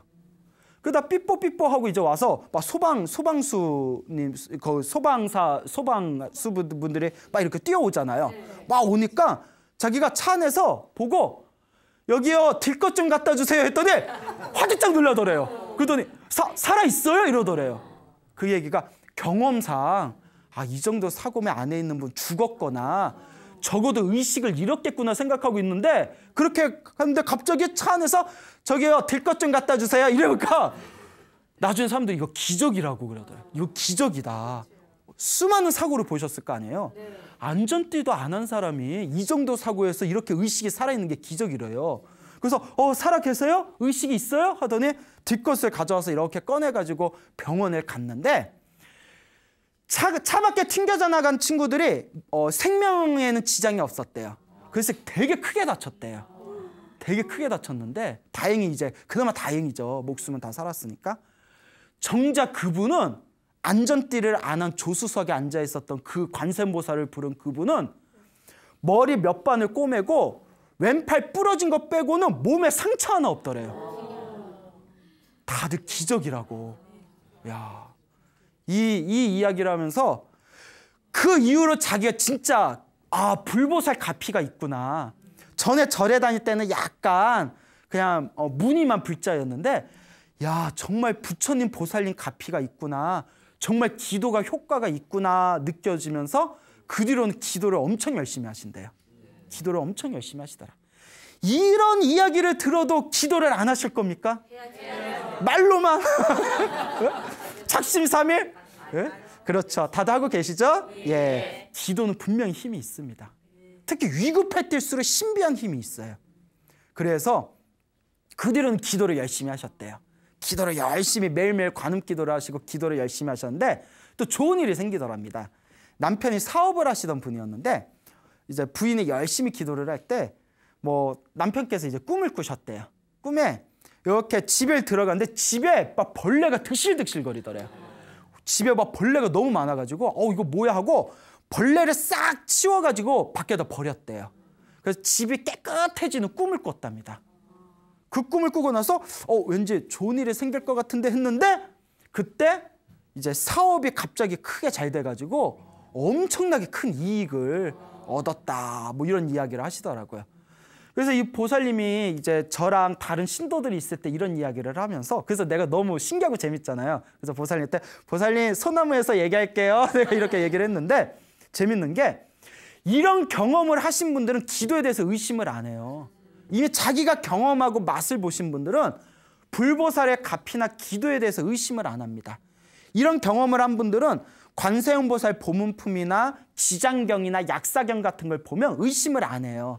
자기가 이미 그런 신비한 가피를 경험했기 때문에 꼭 기도를 안 해본 사람들이 꼭 체험하지 못해본 사람들이 꼭 맛을 못 본 사람들이 꼭 기도가 되네 안 되네 인과 업보가 있네 없네 효과가 있네 없네 뻥이네 아니네 개뻥이네 뻥튀기네. 꼭 그런 얘기를 해요. 왜 그럴까요? 자, 다 함께 업장이 두꺼워서 예, 업장이 두꺼워서 그런 거예요. 여러분은 업장이 두꺼운 것 같아요? 안 두꺼운 것 같아요? 두꺼운 것 같아요? 두, 두꺼운 것 같으면 얘기하지 마세요. 예, 예, 그래요. 그 업장이 두꺼운 걸 녹이는 것도 바로 기도의 힘입니다. 그래서 항상 기도를 많이 하시고 기도하시면서 복을 많이 지으셔야 됩니다. 제가 항상 불자님들한테 하는 얘기 있잖아요. 그냥 기도만 기도만 해서는 효과가 더디다. 기도하면서 틈틈이 복을 많이 지어야 됩니다. 그냥 복 짓는 건 없고 그냥 기도만 하면서 나 좀 도와주세요 하는 거는 이기적인 마음이에요. 인과 업보잖아요. 인형 과보라고 하잖아요. 우리 동양에서 인과 응보라고 하잖아요. 내가 뿌린 게 있어야 거두거든요. 내가 행복해지려면 복을 심어야 돼요. 기도는 내 몸과 마음을 정화시키는 거고 그리고 복은 내가 행복해질 수 있는 행복의 씨앗을 심는 겁니다. 그러니까 기도도 많이 하시고 내 형편껏 복도 많이 지으시고 가장 중요한 거는 평소에 이 마음 수행을 잘해야 된다라는 걸 꼭 명심하시기 바랍니다. 알겠죠?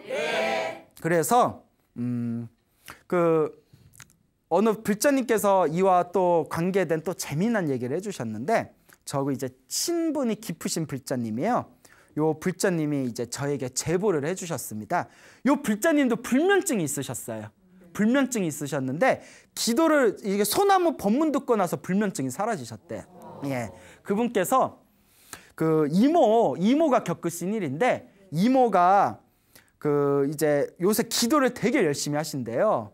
엄청 열심히 하신데 이제 이모 아들 그러니까 자기하고는 사촌이죠. 네. 사촌이 이번에 수능 기도를 마치고 나서 수능 기도를 마치고 나서 지금 한창 놀 때잖아요. 네. 원서스가 한창 놀 때잖아요. 그래서 이 친구가 저기 양평에 양평에 저기 스키를 하러 갔대요. 이제 스키 타러 갔는데 양평에 스키를 타고 그날 그 사촌이 양평에 스키 타러 갔을 때 이모는 절에서 천도제 지내고 기도하셨대요. 그때 이제 천도제 지내고 기도를 하셨는데 이제 양 사촌이 이제 양평에 스키를 타러 갔는데 스키를 잘 못 탔다나 봐요. 아 초보자라서. 또 이제 초보자들이 자기 수준을 모르잖아요. 또못 부린다고 높은 데 올라갔나 봐요. 높은 데서 막 내려오는데 힘이 붙어가지고 너무 세게 내려가더래요. 그래서 놀래가지고 멈추려고 스틱을 움직였더니 더 빨리 내려가더래요. 오오 하다가 너무 무서워서 몸을 이렇게 굽혔더니 더 빨리 내려가더래요. 그래서 뭐 어, 어쩔지 몰라가지고 뭐 어, 무서워서 막 삶이 무서우면 몸을 움츠리잖아요. 네. 몸을 움츠리니까 막 그냥 질주를 해버리는 거예요. 예, 그래서 아 리액션 계속 좋아요. 그래서 막 쭉 내려가다가 그 우리 이렇게 방, 이렇게 방패 마냥 만들어 놓은 벽 있잖아요. 스티로폼 벽 있잖아요. 거기에 온몸을 부딪혀서 허공으로 떴대요. 꽝 하고 부딪혀서 허공으로 떠가지고 그 뒤로 넘어가는데 아이들이 어린이들이 놀고 있는데 떨어졌대요. 꽝 하고 떨어졌는데 다행히 그 그곳에 있는 어린아 애들하고는 부딪히질 않았대요. 네, 다 그래서 이렇게 피해 가지고 넘어갔는데 전속력으로 넘어오다가 거기 벽에 부딪혀서 허공에 떠가지고 넘어졌잖아요. 충격이 너무 심해가지고 그 뭐 뇌증탕도 될 수 있고 그렇잖아요. 충격이 너무 심해서 병원에 갔대요. 병원에 갔는데 의사가 이렇게 보더니 몸에 아무 문제가 없더래요. 몸에 아무 문제가 없더래요. 그 의사도 보면서 신기하다, 희한하다. 당신 경험상 그래가지고 온 사람들 보면 저도 몸 어디 하나는 부러진대요. 근데 너무나 몸이 멀쩡하다고. 그래서 의사 선생님도 야 신기하다, 신기하다. 운이 좋았다, 운이 좋았다. 그래서 나중에 요 사촌이 집에 와서 엄마한테 얘기를 하는데 엄마가 놀란 게 그 사촌이 스키하다가 다쳤을 그 시간이 엄마가 절에서 천도제 지내고 기도했을 시간이었대요. 그래서 요 이모 되는 보살님은 아무리 생각해도 누가 도와주신 것 같다? 예, 불보살님이 도와주신 것 같다. 이런 이제 말씀을 하셨습니다. 그래서 이제 우리가 이 소나무를 통해서도 이제 굉장히 많은 이야기를 들려드렸는데 항상 힘들고 괴로울 때 우리가 기도를 하고 또 눈앞에서 어떤 어려운 일에 다쳤을 때 간절하고 정성스럽게 기도를 하면 분명히 보이지 않는 어떤 가피가 나를 보호해주고 나를 좋은 길로 인도해주는 것을 분명히 우리가 느낄 때가 많습니다. 그래서 제가 우리 주변의 불자님들에게도 기도를 많이 하셔라, 기도를 많이 하셔라 이렇게 말씀을 드리는데 이제 항상 기도에 대해서 말씀드릴 때 제가 우리 불자님들이 혹시라도 어, 스스로 착각에 빠지지 않, 않도록 하기 위해서 늘 드리는 말씀이 있었잖아요. 기도를 하다가 안 좋은 일이 생기는 것은 무엇이다? 업장이 소멸하는 과정이다. 크게 받을 걸 작게 받을 뿐이다. 왜냐하면 요새도 심심찮게 자꾸 상담이 오는 게 내가 이제 그런 상담 그만 좀 해라 몇 번 말씀드렸는데도 계속 들어오는 상담이 아 스님 이렇게 기도하다가 뭐 넘어졌는데 예, 뭐, 뭐 몸을 다쳤습니다라든가 스님 뭐 기도했는데 뭐 좀 뭐 안 좋은 일을 겪었습니다라든가 그리고 어 얼마 전에 오신 어느 불자님께서는 지장경을 기도하셨대요. 지장경을 기도하면서 눈앞이 환해지면서 마음이 뻥 뚫리고 시원한 그 어떤 가피를 받으셨대요. 그리고 와일 생기겠다 했는데 그리고 남편하고 이혼을 했대요. 예. 그래서 내가 아 그래서 내가 이제 말을 어떻게든 내가 수습을 해야 될 거 아니에요. 남편이 남편이 평소에 어, 못됐죠. 그러니까 내가 내 못됐습니다 하면 아 지장보살님이 일부러 찢어놓은 거라고 이렇게 말하려고 하는데 아니요 남편이 잘해줬어요 이러더라고요. 그래서 내가 순간 뭐할 뭐 말이 없어서 아 제 생각에는 어, 남편하고 계속 살면 더안 좋은 일이 생길 뻔했는데 보살님이 지장기도를 열심히 해서 저절로 수월하게 이혼을 한 거다라고 얘기를 했는데 나도 사실 모르죠. 예? 그래서 보살님한테 보살님 기도하다가 안 좋은 일이 생긴 거는 업장이 소멸하는 과정이라고 했습니다. 그러니까 지금처럼만 열심히 기도하시고 어, 남편하고는 그 인연이 다 했기 때문에 헤어진 겁니다. 결국 인연법 아니겠습니까? 라고 말씀드렸더니 웃으시면서 그러니까 흔쾌히 이제 인정을 하시더라고요. 어쨌거나 제가 꼭 드리고 싶은 얘기는 기도하다가 안 좋은 일이 생기는 것은 업장이 소멸하는 과정이에요. 과거 전생에 우리가 얼마나 많은 업을 졌겠어요. 알게 모르게 입으로 지은 업, 몸으로 지은 업, 생각으로 지은 업. 전생에 오만 업보를 많이 졌는데 이번 생에 기도 몇 번 했다고 싹 사라지겠어요? 그러니까 이번 생에 기도를 하면서 안 좋은 일이 생기는 것은 다 업장이 소멸하는 과정들. 크게 받을 걸 작게 받는 과정들이니까 기도하다가 효과가 있니 없니 기도했더니 좋은 일이 생기니 오히려 나쁜 일이 생겼다느니 이런 마음조차도 그런 자그마한 집착조차도 툭 놔버리고 한결같은 마음으로 어, 자신의 기도에 집중하시기 바랍니다. 기도에는 반드시 가피가 있음을 우리 불자 여러분들께서는 절대 잊지 마시고 마음의 기도 가피에 대한 확신을 이 마음에 깊숙이 각인하시길 바랍니다. 알겠죠? 네. 예. 제가 요새 알겠죠? 이게 유행하거든요. 지나가면 불자님들의 알겠죠? 막 이러시더라고요. 자, 그러니까 열심히 기도하시길 바랍니다. 네. 여러분, 행복해지고 싶습니까? 네. 행복한 삶을 창조하고 싶습니까? 네. 복을 지으십시오. 선업을 지으십시오. 공덕을 쌓으십시오. 복과 선업과 공덕의 힘이 여러분들을 진정한 행복의 길로 이끌어 줄 것입니다.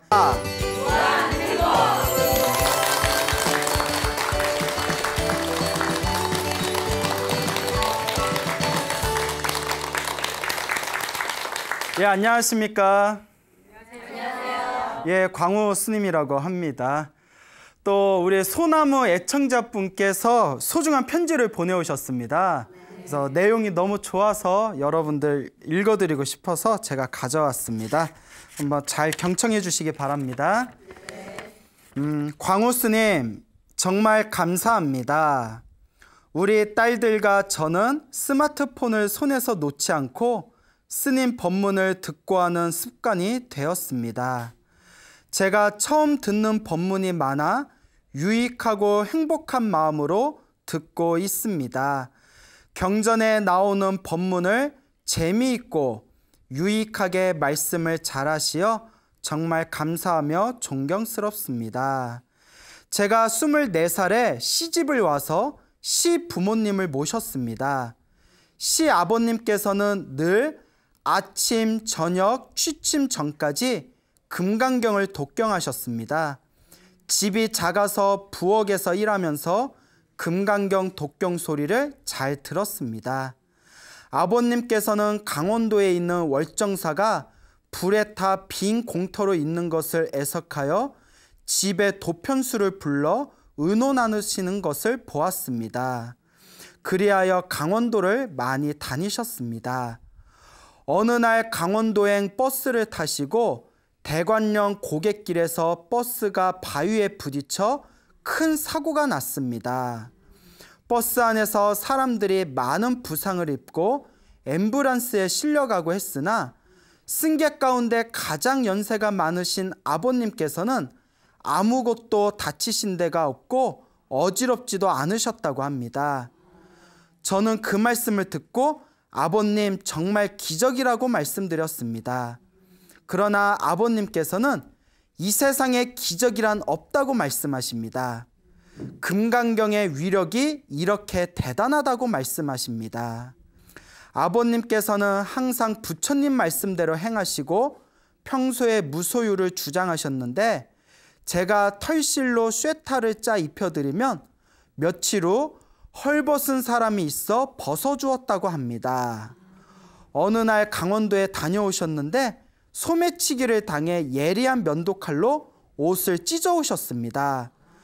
저는 살을 다치지 않은 것만 해도 다행이라고 말씀드렸더니 오죽 돈이 없어 그랬겠냐고 하시며 그 돈이나마 가져가 살 것을 생각하니 다행이라고 말씀하십니다. 시 아버님이 돌아가시고 두 달 후쯤에 꿈을 꾸었습니다. 아버님이 파란 하늘 아래 하얀 구름 위로 결가부자를 하시고 그 주변에서 천상의 선녀 같은 여인들이 빙 둘러 모시고 파란 하늘 위로 올라가시는 꿈을 꾸었습니다. 하늘에 작은 점같이 보일 때까지 지켜보았습니다. 저는 너무 신기하고 태몽보다 더 선명하여 잊을 수가 없습니다. 광우 스님 법문을 절실히 실감합니다. 늘 건강하시고 좋은 법문 들려주십시오. 감사합니다. 5월 9일 분당 전자동에 사는 원연희 올림. 예, 어때? 편지 내용이 너무 감동스럽죠? 네. 예, 저도 이렇게 편지를 받고 읽으면서 야, 여 시아버님 되시는 요 거사님께서 저보다도 더 스님 같다. 예. 사실 이렇게 며느리가 정성스럽게 짜준 털실로 된 옷을 헐벗은 사람한테 이렇게 벗어 벗어 주기가 힘들잖아요. 차라리 지갑에서 얼마 돈은 줄 수 있어도 그리고 또 우리가 살다가 도둑질을 당하게 되면 화 나야 안 나요. 그렇죠. 만약에 막 소매치기 당하면 첫 소리부터 이런 C 막 나오고 아. 비타민 C 막 이러면서 그런데 우리 요 거사님 시아버님 되는 거사님께서 야 그거라도 가져가서 살 거 생각하니까 다행이다. 야 정말 많이 닦으신 분이다라는 것을 그 짧은 편지글에서 충분히 느낄 수가 있었습니다. 그리고 평생 금강경을 독송하셨잖아요. 그래서 마지막에 이 며느리 되시는 보살님께서 꿈을 꿀 때 그 하얀 그 구름 위에 결가부자, 결가부자 참선할 때 다리를 꼬는 것을 결가부자라고 합니다. 딱 결가부자를 한 상태에서 주변에 선녀들이 삥 둘러싸이고 하늘 위로 승천했다라는 그런 또 꿈을 꾸셨다는 걸 딱 보고 아 아마 이 거사님께서는 하늘세계 천신으로 태어나셨나 보다. 그 경전에 보고 또 우리 불교설화에 보면 살아생전에 수행을 많이 하신 분들께서 그 죽은 뒤에 하늘 세계 천신으로 태어나는 이야기가 굉장히 자주 나옵니다. 아마 여 거사님께서 하늘 세계 천신으로 태어나셨나 보구나라는 그런 생각이 들었습니다. 그래서 이렇게 소중한 정말 소중한 내용이 담겨져 있는 이 편지를 보내주신 우리 원년이 보살님 너무나 감사드립니다. 자, 우리가 불법을 공부하고 기도를 한다는 것은 이와 같이 내 마음을 닦는다는 거.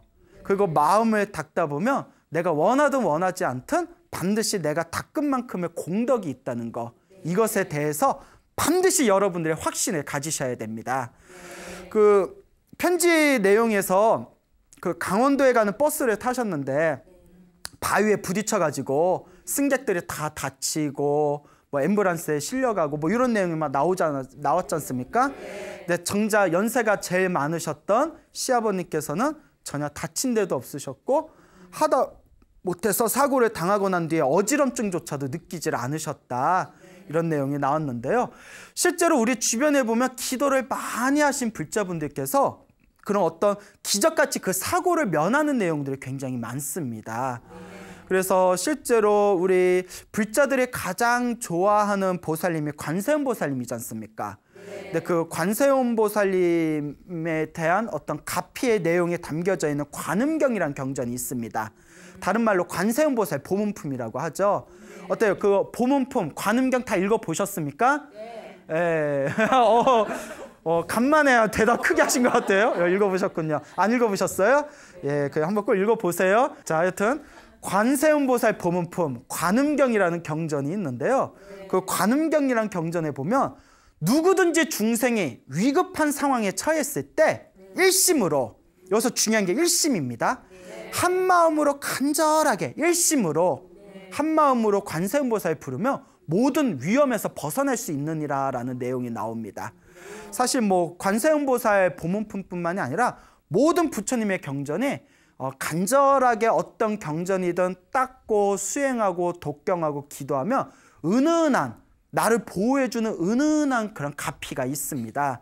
그 예전에 어느 스님께서는 평생 지장 기도를 하셨답니다. 평생 지장 기도를 하셔서 요 지장경을 항상 이렇게 품에다 안고 다니셨대요. 근데 어느 날 그 택시를 타셨는데 택시를 타고 이렇게 택시가 가다가 우리가 흔히 운전면허 그 연습할 때 그 교육을 받을 때 웬만하면 어디 도로에서 트럭 뒤에 따라다니지 말아라라는 교육을 많이 받습니다. 그런 얘기 들으셨죠? 그래서 그 택시를 탔는데 택시 운전사분께서 길에서 그 트럭이 앞에 있는데 트럭 뒤로 이렇게 따라가고 계셨대요. 근데 그 트럭에 이렇게 그 철근 같은 거 있죠. 날카로운 큰 철근 같은 걸 싣고 있었답니다. 근데 앞에 트럭이 이렇게 교통사고가 났나 봐요. 교통사고가 나고 트럭에 부딪히면서 앞에 있는 철근이 예, 그 뒤로 쫙 밀리면서 유리창을 뚫고 쓱 가슴에 팍 박혀버린 거예요. 뒷자리에 탄 스님 가슴에 희한하게 그빡 박혔는데 스님이 죽었을까요? 살았을까요? 그렇죠. 죽었으면 얘기 못하죠. 그리고 스님이 돌아가셨대요. 이러면 안 되죠. 가슴에 박혔는데 사신 거예요. 그래서 어떻게 사셨냐? 가슴에 지장경 책을 안고 있었대요. 철근이 어디에 맞은 거예요? 책에 맞았는데 책을 책을 거의 다 뚫었는데 살갗을 안 닦고 책 때문에 사셨대요. 야 믿습니까 여러분? 예. 자 기적입니다 여러분. 예. 그리고 또 제 아시는 스님이 계시는데 요거는 제가 그 스님께 또 직접 들은 얘기입니다. 아까 얘기는 책에서 본 내용이고요. 요 스님께서 또 이제 고속도로에서 차를 운전하시고 이렇게 차를 타고 가셨는데 앞에 또 트럭에서 물건이 이렇게 떨어졌대요. 그 여러 트럭 뒤에서 운전하면 진짜 안 될 것 같아요. 욕심 부리지 말고 먼저 보내든가 해야지. 앞에 트럭에서 물건이 떨어져서 그거 부딪혔나 피했나 하다가 차가 전복이 됐대요. 그래서 스님이 스님이 크게 다치셨는데 기적 같은 게 다친 건 다치신 거고 이렇게 차가 뒤집히는 가운데에서 그나마 다행인 게 스님께서 참선을 하시던 분이셨어요. 차 안에다 항상 참선할 때 쓰는 두꺼운 방석을 가지고 다니셨대요. 어디서도 항상 이렇게 참선하시려고. 뒷좌석에 방석을 놓고 있었는데 차가 전복되는 과정에서 뒤에 있던 좌복이 앞으로 와가지고 부딪혔을 때 스님 머리에 이렇게 좌복이 있더래요. 그 좌복이 없으면 머리를 크게 다쳤을 텐데 머리 부딪혔을 때 머리에 뭐가 꼈다? 푹신한 좌복, 방석이야, 방석. 푹신한 방석, 좌복이 머리 사이에 딱 껴가지고 다행히 목숨에는 큰 지장이 없으셨답니다. 이것도 가피가 아니겠습니까? 예, 이와 같이 우리가 기도를 하다 보면 이렇게 신비한 불보살님의 가피를 경험하게 됩니다. 자, 그래서 오늘은 그 기도를 통해서 사고를 면하신 분들의 어떤 그런 좀 어, 신비로운 그런 가피와 영험에 대해서 한번 이야기를 해볼까 합니다. 그 경기도 구리시에서 그 살고 계시는 어느 불자님이 계셔요. 요 보살님이 계시는데 요 보살님께서 음, 그 절을 다니셨을 때 예전에는 처음에 이렇게 절을 다닐 때는 남편이 별로 안 좋아하셨대요. 솔직히 뭐 종교에 관심 없는 남편분들 많으시잖아요. 그래서 어, 집안일 마치고 나서 어, 여보 나 절에 갈게요 하면 남편이 짜증을 내시면서 절에 가면 밥이 나와 뭐 떡이 나와 항상 그러셨대요. 그 비아냥거리듯이 절에 가봐라 밥이 나오냐 떡이 나오냐 그럼 이제 속에 부글부글 끄는데 그 보살님이 착하셨나 봐요. 다른 보살님들 같았으면 뭐? 너 잘 되라고 기도하는데 뭐? 이랬을 텐데 보살님이 이제 속에 부글부글 끓는데 여보 절에 가면 밥도 나오고 떡도 나오고 나물도 나오고 과일도 나와 이런 이런 그 남편이 아무 얘기 안 해. 아 실제 절에 다니면 밥 나오지 나물 나오지. 절에서 봉사활동 해주면 떡도 주지 스님들이. 어? 그러니까 그 남편보다 아무 말 못 하시고. 근데 그냥 절에 가는 게 그렇게 좋으셨대요. 절에 가는데 그러니까 남들 절에 가니까 같이 절에 가고 남들 기도하니까 그냥 기도하고 절에 가면 이렇게 마음이 편안해지고 그렇게 절에 다니다가 어, 거사님 남편 되시는 분들께서 15톤짜리 덤프 트럭을 운전하시는 분이었대요. 그래서 이제 공사 현장에서 덤프 트럭을 운전하셨는데 바야흐로 이제 사건이 하나 터집니다. 2000년도였대. 2000년도. 어, 지금으로부터 한 18년 전인가요? 예. 2000년도에 부산에서 큰 터널 공사를 했대요. 부산에서 큰 터널 공사를 했는데 글쎄요 저는 이제 공사 현장 경험이 없어서 그런데 터널 공사가 굉장히 위험하대요. 그거 어둡고 좁은 데에서 트럭하고 중장비가 막 엉키다 보니까 인명사고가 잘 난답니다. 그래서 터널 공사가 굉장히 좀 어렵고 어, 좀 힘든 공사인데 그 부산에서 그 터널 공사할 때 이제 트럭을 운전을 하셨답니다. 15톤짜리 덤프 트럭을 운전을 하셨는데 어느 어느 날이었대요. 이 보살님께서 터널 공사가 굉장히 위험하고 어렵다는 걸 아니까 매일매일 남편을 위해서 기도를 올렸대요. 예, 우리 남편 항상 건강하고 무사하게 해주십시오. 무사 안전이라고 하죠. 예, 무사 안전을 항상 발언하면서 기도를 올렸답니다. 그 기도를 올렸는데 어느 날 이렇게 꿈을 꿨대요. 꿈을 꿨는데 꿈에 자기 앞에 이렇게 스님들이 계시더래요. 스님들이 여러 명의 스님들이 이렇게 가사장삼을 입고 이렇게 목탁을 치면서 자기를 바라보면서 막 연부를 하고 기도를 하더래요. 스님들이. 그래서 자기도 이제 꿈속에서 스님들이 자기 보고 막 기도하니까 얼떨결에 자기도 이렇게 합장하고 마주보면서 기도했대요. 근데 꿈에서도 꿈속에서조차도 어, 왜 나를 보고 기도하지? 왜 나를 보고 기도하지? 왜 그러지? 그래서 그런 생각이 들더랍니다. 하여튼 꿈에서 스님들이 자기를 위해서 기도해 주는 걸 꿈을 꾸고 나서 잠에서 딱 깼는데 잠에서 깨고 난 뒤에도 이상한 생각이 들더래요. 어, 왜, 왜 꿈에서 나를 보고 기도를 했을까? 이게 무슨 뜻일까? 왜냐면 꿈이 너무 생생하다 보니까. 그러고 있는데 그 꿈을 꾸고 난 그날 이제 오후에 남편한테 전화가 왔대요. 남편한테 전화가 와서 여보 나 죽었다가 살아났어 이러더래요. 나 죽다 살아났어 하니까 부인이 왜?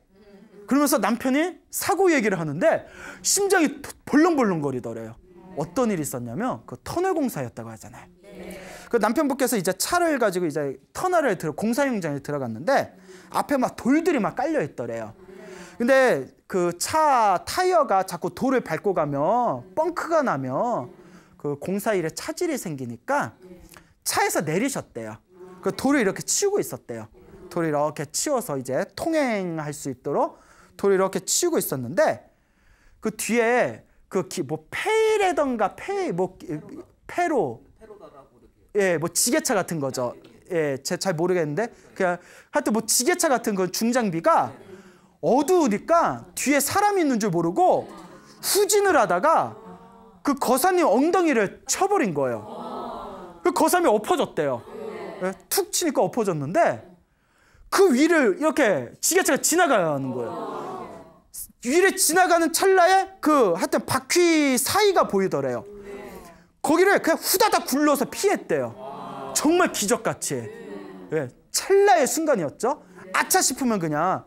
근데 그 후진하는 지게차는 어둡고 정신이 딴 데 팔려 있는지 뒤에 사람이 있는지 피했는지도 모르고 그냥 앞으로 뒤로 왔다 갔다 하더래요. 정말 큰일 날 뻔했죠. 진짜 큰일 날 뻔했죠. 가까스로 야 나 진짜 큰일 날 뻔했다. 이 얘기를 듣고 보살님이 그래서 그 꿈을 꾸었구나. 꿈에서 스님들이 내 남편 살리려고 꿈에서 기도를 해준 거였구나.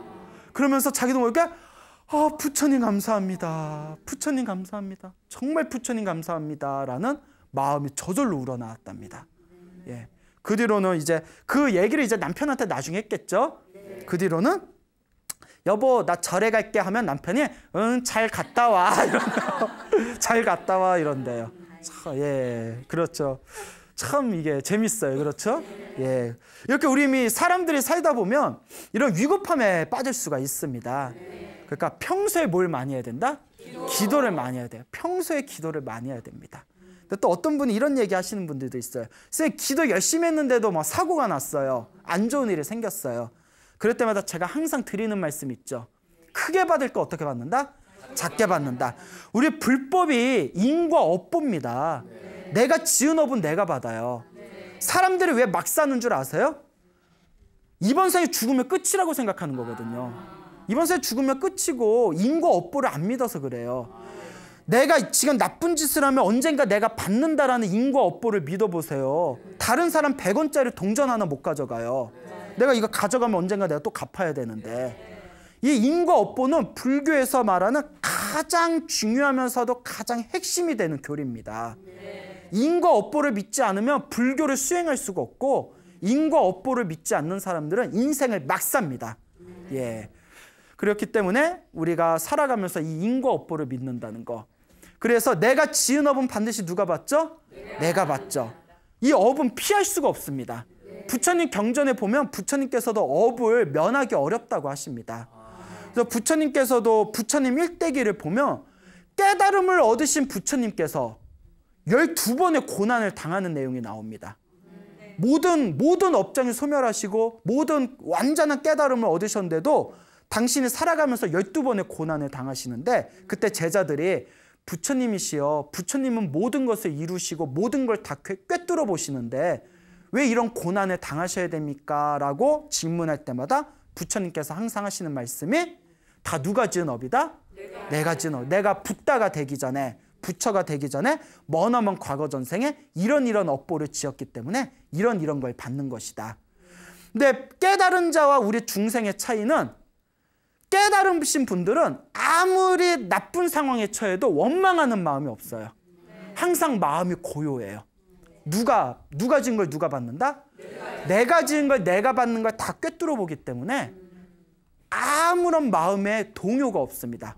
근데 우리 중생은 우리 중생은 살다가 안 좋은 일을 당하거나 나쁜 짓을 당하면 첫 글자에 뭐가 나와요? C. 비타민 C가 나오죠. 예? 그렇잖아요. 남을 원망하는 마음, 동요하는 마음. 그런 불자분들 많아요. 평생 기도 열심히 하다가 나쁜 일 한 번 딱 생기면 에휴 영업 없네 하고 절에 안 나오는 불자분들도 있습니다. 아닙니다. 내 업은 내가 받는 거고 기도를 열심히 하시면 크게 받을 업보를 작게 받고 작게 받아야 할 업보는 그냥 받은 듯 안 받은 듯 쓱 스쳐가는 겁니다. 그러니까 기도하면 기도하다가 나쁜 일이 생기는 것은 기도가 효과가 없는 게 아닙니다. 내 업보가 소멸하고 있다는 하나의 과정입니다. 내가 받아야 할 빚을 풀고 있는 거예요. 이걸 우리가 명확하게 이해해야 됩니다. 저랑 친하게 지내는 비구니 스님이 계셔요. 요 비구니 스님께서 어 그 비구니 스님하고 친하게 지내는 그 밑에서 공부하고 있는 어느 신도분께서 직접 겪으신 일화입니다. 그 어, 대구에 살고 계시는 40대 초반의 어느 그 보살님이 계시는데 비구니 스님 밑에서 생활 기도를 이렇게 점검을 받으세요.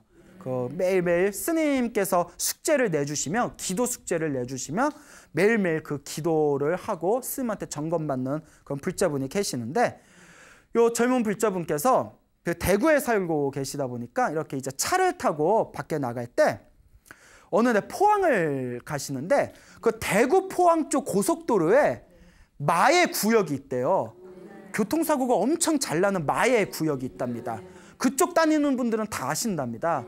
그 길이 이상하게 꼬여가지고 그 대구 포항 고속도로 쪽에 마의 구역이 있는데 어 그분께서 그 운전을 그쪽 운전을 하시다가 차가 완전히 박살이 나서 폐차가 될 정도로 교통사고를 당하셨어요. 대형 교통사고가 났답니다. 완전 차가 완전히 찌그러져서 부셔져 버렸대요. 그런데 몸에 상처가 하나도 없더래요. 그 옆에서 차가 부서진 거 본 사람이 아이고 요 차 안에 탄 사람 어떻게 됐어요? 예, 예 전데요? 에? 진짜? 어 대박 막 이러면서 믿지 않을 정도래요. 완전 기적이죠. 하다못해 뭐 찰과상이라도 있어야 될 거 아니에요. 차, 차가 완전히 박살이 나서 폐차를 시켰는데도 운전자가 몸이 멀쩡하니까 사람들이 기적이다고. 야, 진짜 기적이라고 할 정도로. 근데 보살님이 아무리 생각하고 아무리 생각해도 아무리 생각해도 이거는 정말 누구의 값이다? 부처님의 갚이다. 자기는 아무리 생각해도 그렇게 생각이 된답니다. 물론 어떤 분들은 이렇게 생각할 수 있을 거예요. 스님, 이왕 도와줄 거 조금 더 도와주셔서 차 박살 나는 것까지 좀 막아주셨으면 좋았을 거 아니에요. 이런 생각 할 수도 있죠. 그러니까 중생들 마음이 이래. 도와줘도 도와줘도 그런다니까. 예? 그런데 제가 아까도 말씀드렸죠. 크게 받을 거 어떻게 받는다? 작게 받는다. 얼마 몸이 더 크게 다칠 뻔한 걸 뭐 차가 부서진 걸로 끝났다거나 뭐 예를 들어 어, 목이 부러질 뻔한 걸 뭐 다리가 부러진 걸로 끝났다거나 뭐 이런 자기만의 크게 할 업을 작게 받는다는 거죠. 이게 참 이게 중요합니다. 그렇기 때문에 우리 불자분들께서는 항상 명심하시기 바랍니다. 기도하면 반드시 가피가 있다 없다 있다. 있습니다. 있는데 기도를 하다가 사고가 나거나 나쁜 일이 생긴 것은 효험이 없는 것이 아니라 무엇이 녹고 있는 과정이다? 업장, 예, 업보가 소멸하고 있는 과정이다. 업장이 녹고 있는 과정이다. 이런 믿음이 딱 있어야 기도하더라도 중간에 안 좋은 일이 생겨도 흔들리지가 않습니다. 예전에 어느 그 젊은 불자님이 있었는데 그 불자님이 저한테 뭐 이제 질문할 게 있다고 음, 아주 그, 절, 그 불심이 깊은 젊은 불자님이었는데 음, 뭐요? 이러니까 쌤 저희 어머니가 음, 주변에 절대 금강경 읽지 말라고 그러시는데 진짜 금강경 읽으면 나빠요? 이러, 더라고 그래서 내가 살다 살다 내 별 얘기를 다 들어본다고. 아니 금강경 독경 독송해가지고 금강경 기도해서 효원 받은 사람이 얼마나 많은데 어머님이 왜 그런 얘기 하시냐고. 어머니께서 누가 금강경 기도가 좋다고 해서 금강경 기도하다가 살다 살다 받아야 할 풍파를 그때 다 받으셨다고.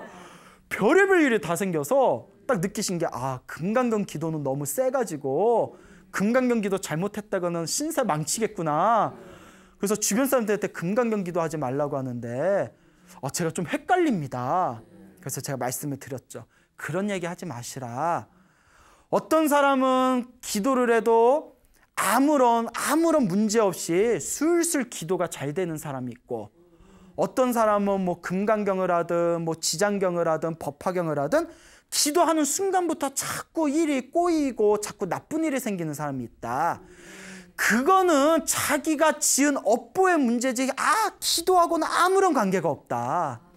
기도가 아무런 관계가 없다라고 하면서 이렇게 말씀드렸죠.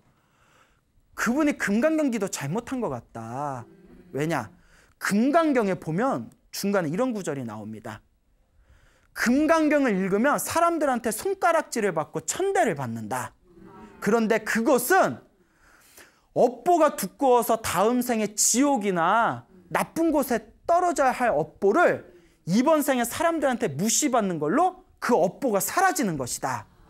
그러니까 크게 받을 걸 어떻게 받는다? 작게 받는다. 만약에 금강경 기도에서 막 풍파가 일어나고 안 좋은 일이 생기면 내가 수 없는 생 동안 지은 크게 받아야 할 나쁜 업보를 금강경 기도하면서 작게 받고 있구나. 내 빚이 녹고 있구나. 내 업장이 소멸하는 과정이구나. 이렇게 생각을 해야지 왜 엉뚱하게 금강경 갖고 탓을 하냐. 제가 이렇게 말씀을 드렸더니 아, 딱 이제 이해하겠다고 하시더라고요. 그리고 말이 나온 그 여담인데 흔히 그 지장기도라고 있어요. 아시죠? 지장기도. 지장경에 보면 막 지옥 얘기, 귀신 얘기 막 그런 얘기들 많이 나오거든요. 그러다 보니까 사람들 중에 불자분들 중에 이런 얘기 하시는 분들이 있어요. 지장경 기도는 엄청 세기 때문에 지장 기도 함부로 하면 안 된다라든가 지장 기도를 하면 어, 굉장히 고생을 많이 한다. 지장 기도가 너무 세서 다른 기도보다 좀 고생을 많이 한다라든가 지장 기도를 많이 하면 마장이 좀 많다. 이런 얘기 하시는 분들이 많아요. 그러니까 지장경은 좀 세다. 지장 기도는 세다. 지장 기도 함부로 하면 좀 어, 풍파가 많다. 뭐 이런 얘기를 하는데 중국, 대만, 일본을 통틀어서 그런 얘기는 한국 불교뿐이 없어요. 네? 지장경을 열심히 읽고 좋아하는 대만이나 중국 불교도 그런 얘기 안 해요. 오히려 업장이 빨리 소멸된다 하지. 그럼 왜 그런 얘기를 왜 하느냐? 여러분, 전생의 업보가 두꺼운 사람은 지장경, 지장경을 기도하든 다른 경을 기도하든 업보가 두꺼운 사람은 무슨 기도를 하든 자꾸 마장이 생겨요. 그거는 경의 문제가 아니라 누구의 문제다? 자기의 문제예요. 전생에 업보가 없는 사람은 전생에 닦은 게 많은 사람은 지장경이 아니라 지장경 할아버지경을 외워도 마장이 있다 없다 없어요. 자기의 문제예요. 그런 얘기는 우리나라뿐이 안 한대요. 예. 그러니까 절대 뭐 무슨 경전을 하면 세기 때문에 마장이 많고 뭐 어떤 경을 하면 편안하고 이런 얘기는 한국 불교뿐이 없습니다. 문제는 누구에게 문제가 있다? 예, 나에게 문제가 있는 거예요. 내 업에 문제가 있는 거예요. 아유, 내가 내가 기도를 했는데 자꾸 부딪히는 게 많고 마장이 많네. 아, 내가 전생에 지은 업장이 두꺼운가 보다. 기도하면서 안 좋은 일이 생기는 거 보니까 내 업장이 뭐 하고 있구나? 녹고 있구나. 이렇게 이해하시면 되는 거예요. 아이고, 내가 기도를 이렇게 하는데도 나는 아무런 일도 없구나. 둘 중에 하나겠구나. 열심히 안 하고 있거나, 어? 열심히 하고 있는데 내가 전생에 닦아놓은 게 많아서 부딪히는 게 별로 없나 보구나. 이렇게 이해하시면 되는 겁니다. 결국은 내가 지은 업보대로 받는 거예요. 아시겠죠? 그러니까 여러분 어, 항상 부처님의 가르침을 가까이 하고 그 우리가 공부를 할 때는 항상 경전에 의지해야 됩니다. 무엇에 의지해야 된다? 경전. 궁금한 게 있으면 부처님 경전에서 찾으세요. 부처님의 경전이야말로 우리 불자가 닦아야 할 가장 중요한 기준점이라는 걸 이해하시기 바랍니다.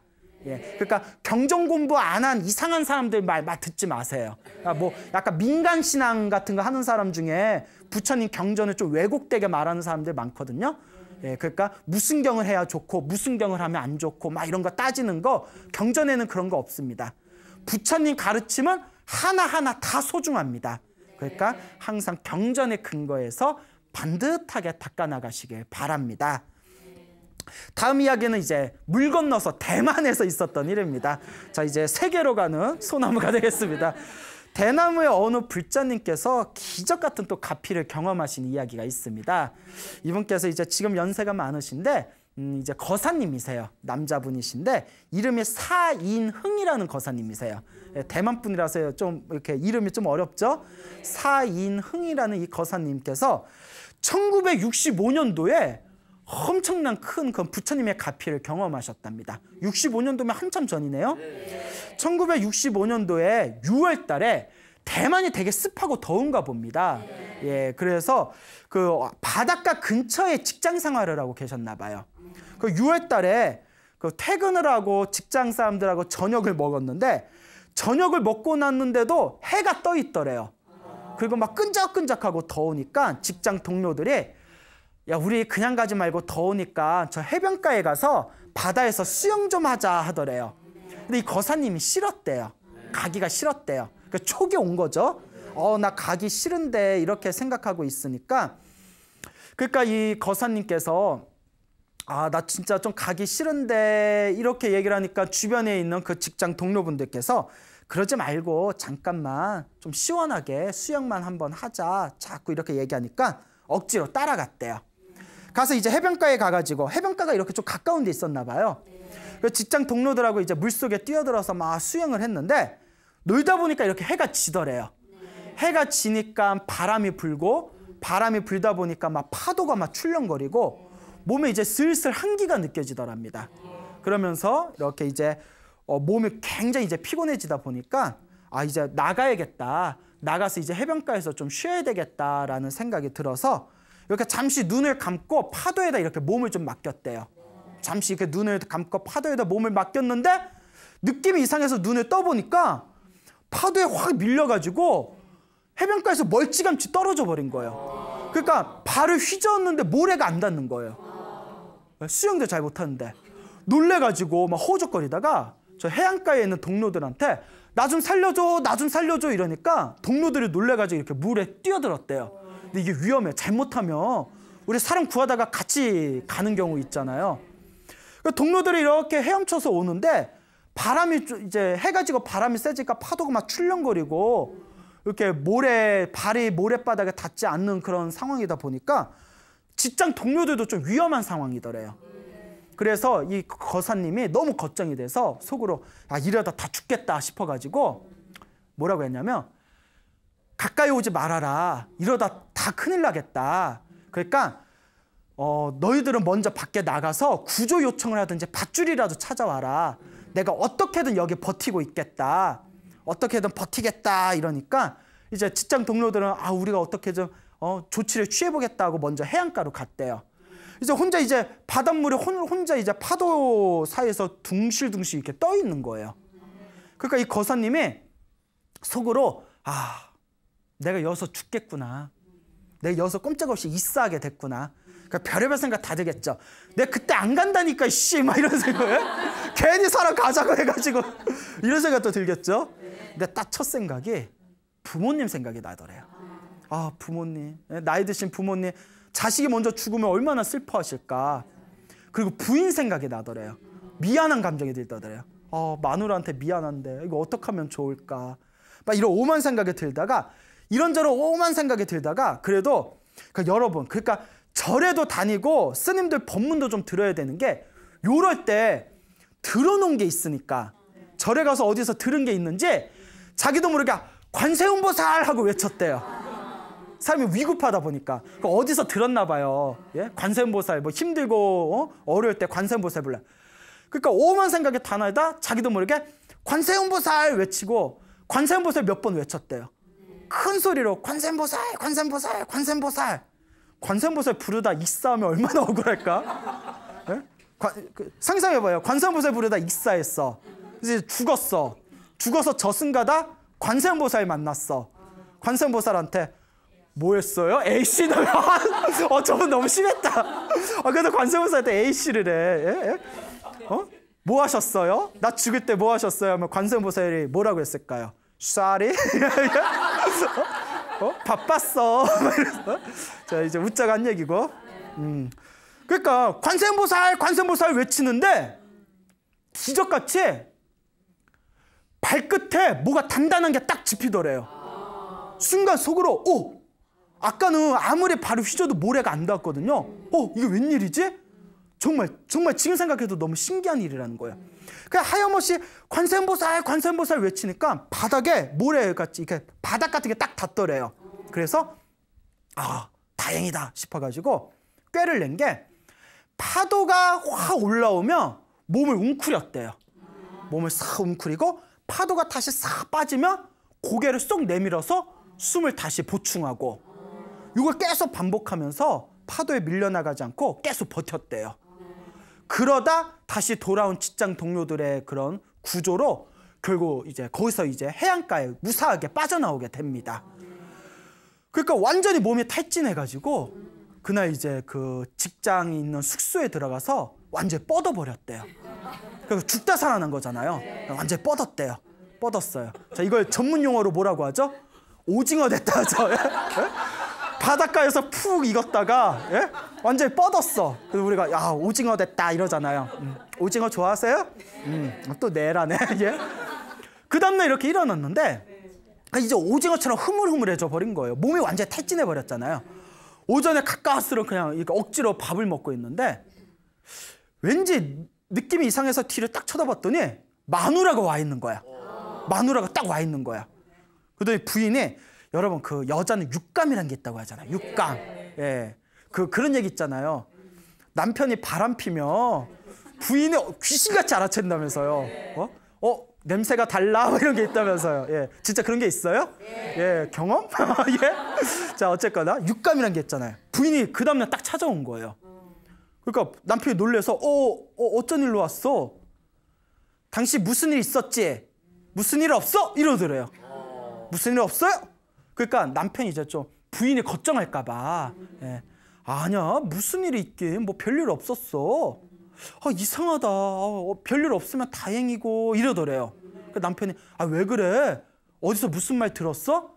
근데 이제 남편분께서 직장 동료들한테 신신당부했대요. 부인이나 연세 드신 저 부모님이 걱정하실 수 있으니까 오늘 있었던 일 우리 비밀로 해달라. 그래서 어 왜 무슨 일 들었어? 아 그게 아니라 하면서 부인이 하는 얘기가 어제 오후에 그러니까 남편이 이제 퇴근하고 바닷가 갔을 때였겠죠. 오후에 집안일 이렇게 하고 있는데 갑자기 속이 막 미, 그냥 참을 수 없이 속이 답답하고 속이 울렁거리더라는 거예요. 속이 답답해서 아 내가 왜 이러지 왜 이러지 하고 방에 들어와서 쉰다고 이렇게 자리에 누웠대요. 그리고 살짝 잠이 들었는지 비몽사몽에 남편이 바, 남편이 바닷가에서 막 허우적거리는 그런 꿈을 꾼 거예요. 야, 이 정도면 돗자리 깔아야지. 그분이 오셨나 보다. 그분이. 그러니까 너무 그래서 꿈에서 딱 눈에 떴는데 남편이 바닷가에서 허우적 창백한 얼굴로 허우적거리는 게 너무 생생해가지고 놀란 마음에 절에 갔다는 거예요. 절에 가가지고 법당에 가서 막 법당에서 절을 하면서 부처님 우리 남편 무사하게 해주세요. 왠지 모르겠지만 답답하고 불안합니다. 우리 남편 무사하게 해주세요. 지금 같으면 지금 같으면 이제 어, 그런 어떤 꿈 같은 거 꾸면 이렇게 휴대폰 눌러보면 되잖아요. 네? 휴대폰 눌러놓고 띠리리 띠리리 그런데 이제 남편은 바닷가에서 허우적거니까 전화 안 받을 거 아니에요. 그럼 부인이 아유 또 노네 놀아 어디 어디 PC방 갔나 보네 뭐 이렇게 오해할 수도 있고 하겠죠. 65년도면 휴대폰 없었을 때잖아요. 그러니까 그런 꿈을 꾸니까 너무 불안한 거예요. 확인할 때도 없고 뭐 퇴근 후니까 회사에 전화해봤자 남편이 안 받을 거고 그 법당에서 하염없이 하염없이 막 절을 올리면서 부처님 제발 우리 남편 무사하게 해주세요. 꿈자리가 뒤숭숭합니다. 무사하게 해주세요. 하고 그 다음 날 아침에 일어나자마자 집안일 좀 간단히 보고 그 불이 나게 직장으로 달려온 거예요. 여보 진짜 별일 없었어? 그 남편분이 거사님이 어 아무 일 없었어. 어 그럼 다행이다 이러면서 이제 훈훈하게 끝납니다. 그리고 몇 년 후에 남편분께서 근데 우리 같으면 뭐 자랑할 법도 한데 내가 죽을 뻔했는데 귀신 같은 수영 실력으로 내가 뭐 이럴, 이럴 법도 한데 성격이 그분이 좀 내성적이었나 봐요. 몇 년이 지난 뒤에 그 얘기를 부인한테 했답니다. 여보 당신이 그때 꿈 꿨을 때 실은 나 바닷가에서 죽을 뻔했어. 관세음보살을 몇 번 외쳤는데 기적같이 땅바닥이 아니, 발끝에 땅바닥이 느껴지더니 가까스로 버티다가 구조됐어. 그 부인도 놀라고 그 남편도 너무나 신기해하고 그 인연으로 두 분이 이제 절에 본격적으로 절에 다니게 되셨대요. 절에 다니면서 열심히 불법 공부를 하다가 그 관세음보살 보문품 관음경을 이렇게 공부를 하는데 관음경에 물속에 빠지더라도 관세음보살님을 간절하게 외우며 물속에서 관세음보살님이 구해 주신다라는 구절을 딱 보는 순간 몸에 전율이 이르더래요. 그때 내가 모르고 관세음보살을 불렀는데 아 관세음보살이 정말 도와주셨나 보구나. 그리고 열심히 이제 불법 공부로 부처님 가르침을 열심히 공부하다가 그 부부의 따님이 출가를 해서 비구니 스님이 되셨대요. 그 진짜 부처님 은혜 제대로 갚은 거죠. 예, 그랬던 어느 대만의 그런 거사님, 불자님의 아주 아름다운 가피의 이야기가 있습니다. 그러니까 여러분 기도를 열심히 하세요. 그거 항상 말씀드리지만 기도만 하는 거는 의미가 없습니다. 기도하면서 복도 함께 지어야 돼요. 기도를 하면서 업장을 소멸하고 내 상황에 닿는 선에서 자꾸 복을 짓고 봉사도 하고 자꾸 선업과 공덕을 지어야 됩니다. 그 제일 중요한 거. 아유 소나무에서 광우스님 설법 듣고 열심히 기도했는데 왜 안 좋은 일이 생기지? 제가 이미 여러분들한테 누누이 말씀드렸죠? 기도하다가 안 좋은 일이 생기는 것은 누구의 업장이 녹고 있는 거다? 나의 업장이 녹고 있는 과정이니까 원망하거나 슬퍼하거나 서러워하거나 서운해하지 말고 한결같은 마음으로 인과 업보를 믿고 기도하시기 바랍니다. 여러분 행복해지고 싶습니까? 네. 행복한 삶을 창조하고 싶습니까? 네. 복을 지으십시오. 선업을 지으십시오. 공덕을 쌓으십시오. 복과 선업과 공덕의 힘이 여러분들을 진정한 행복의 길로 이끌어 줄 것입니다. 오늘 여기서 마치겠습니다. 소중한 나! 무한 행복!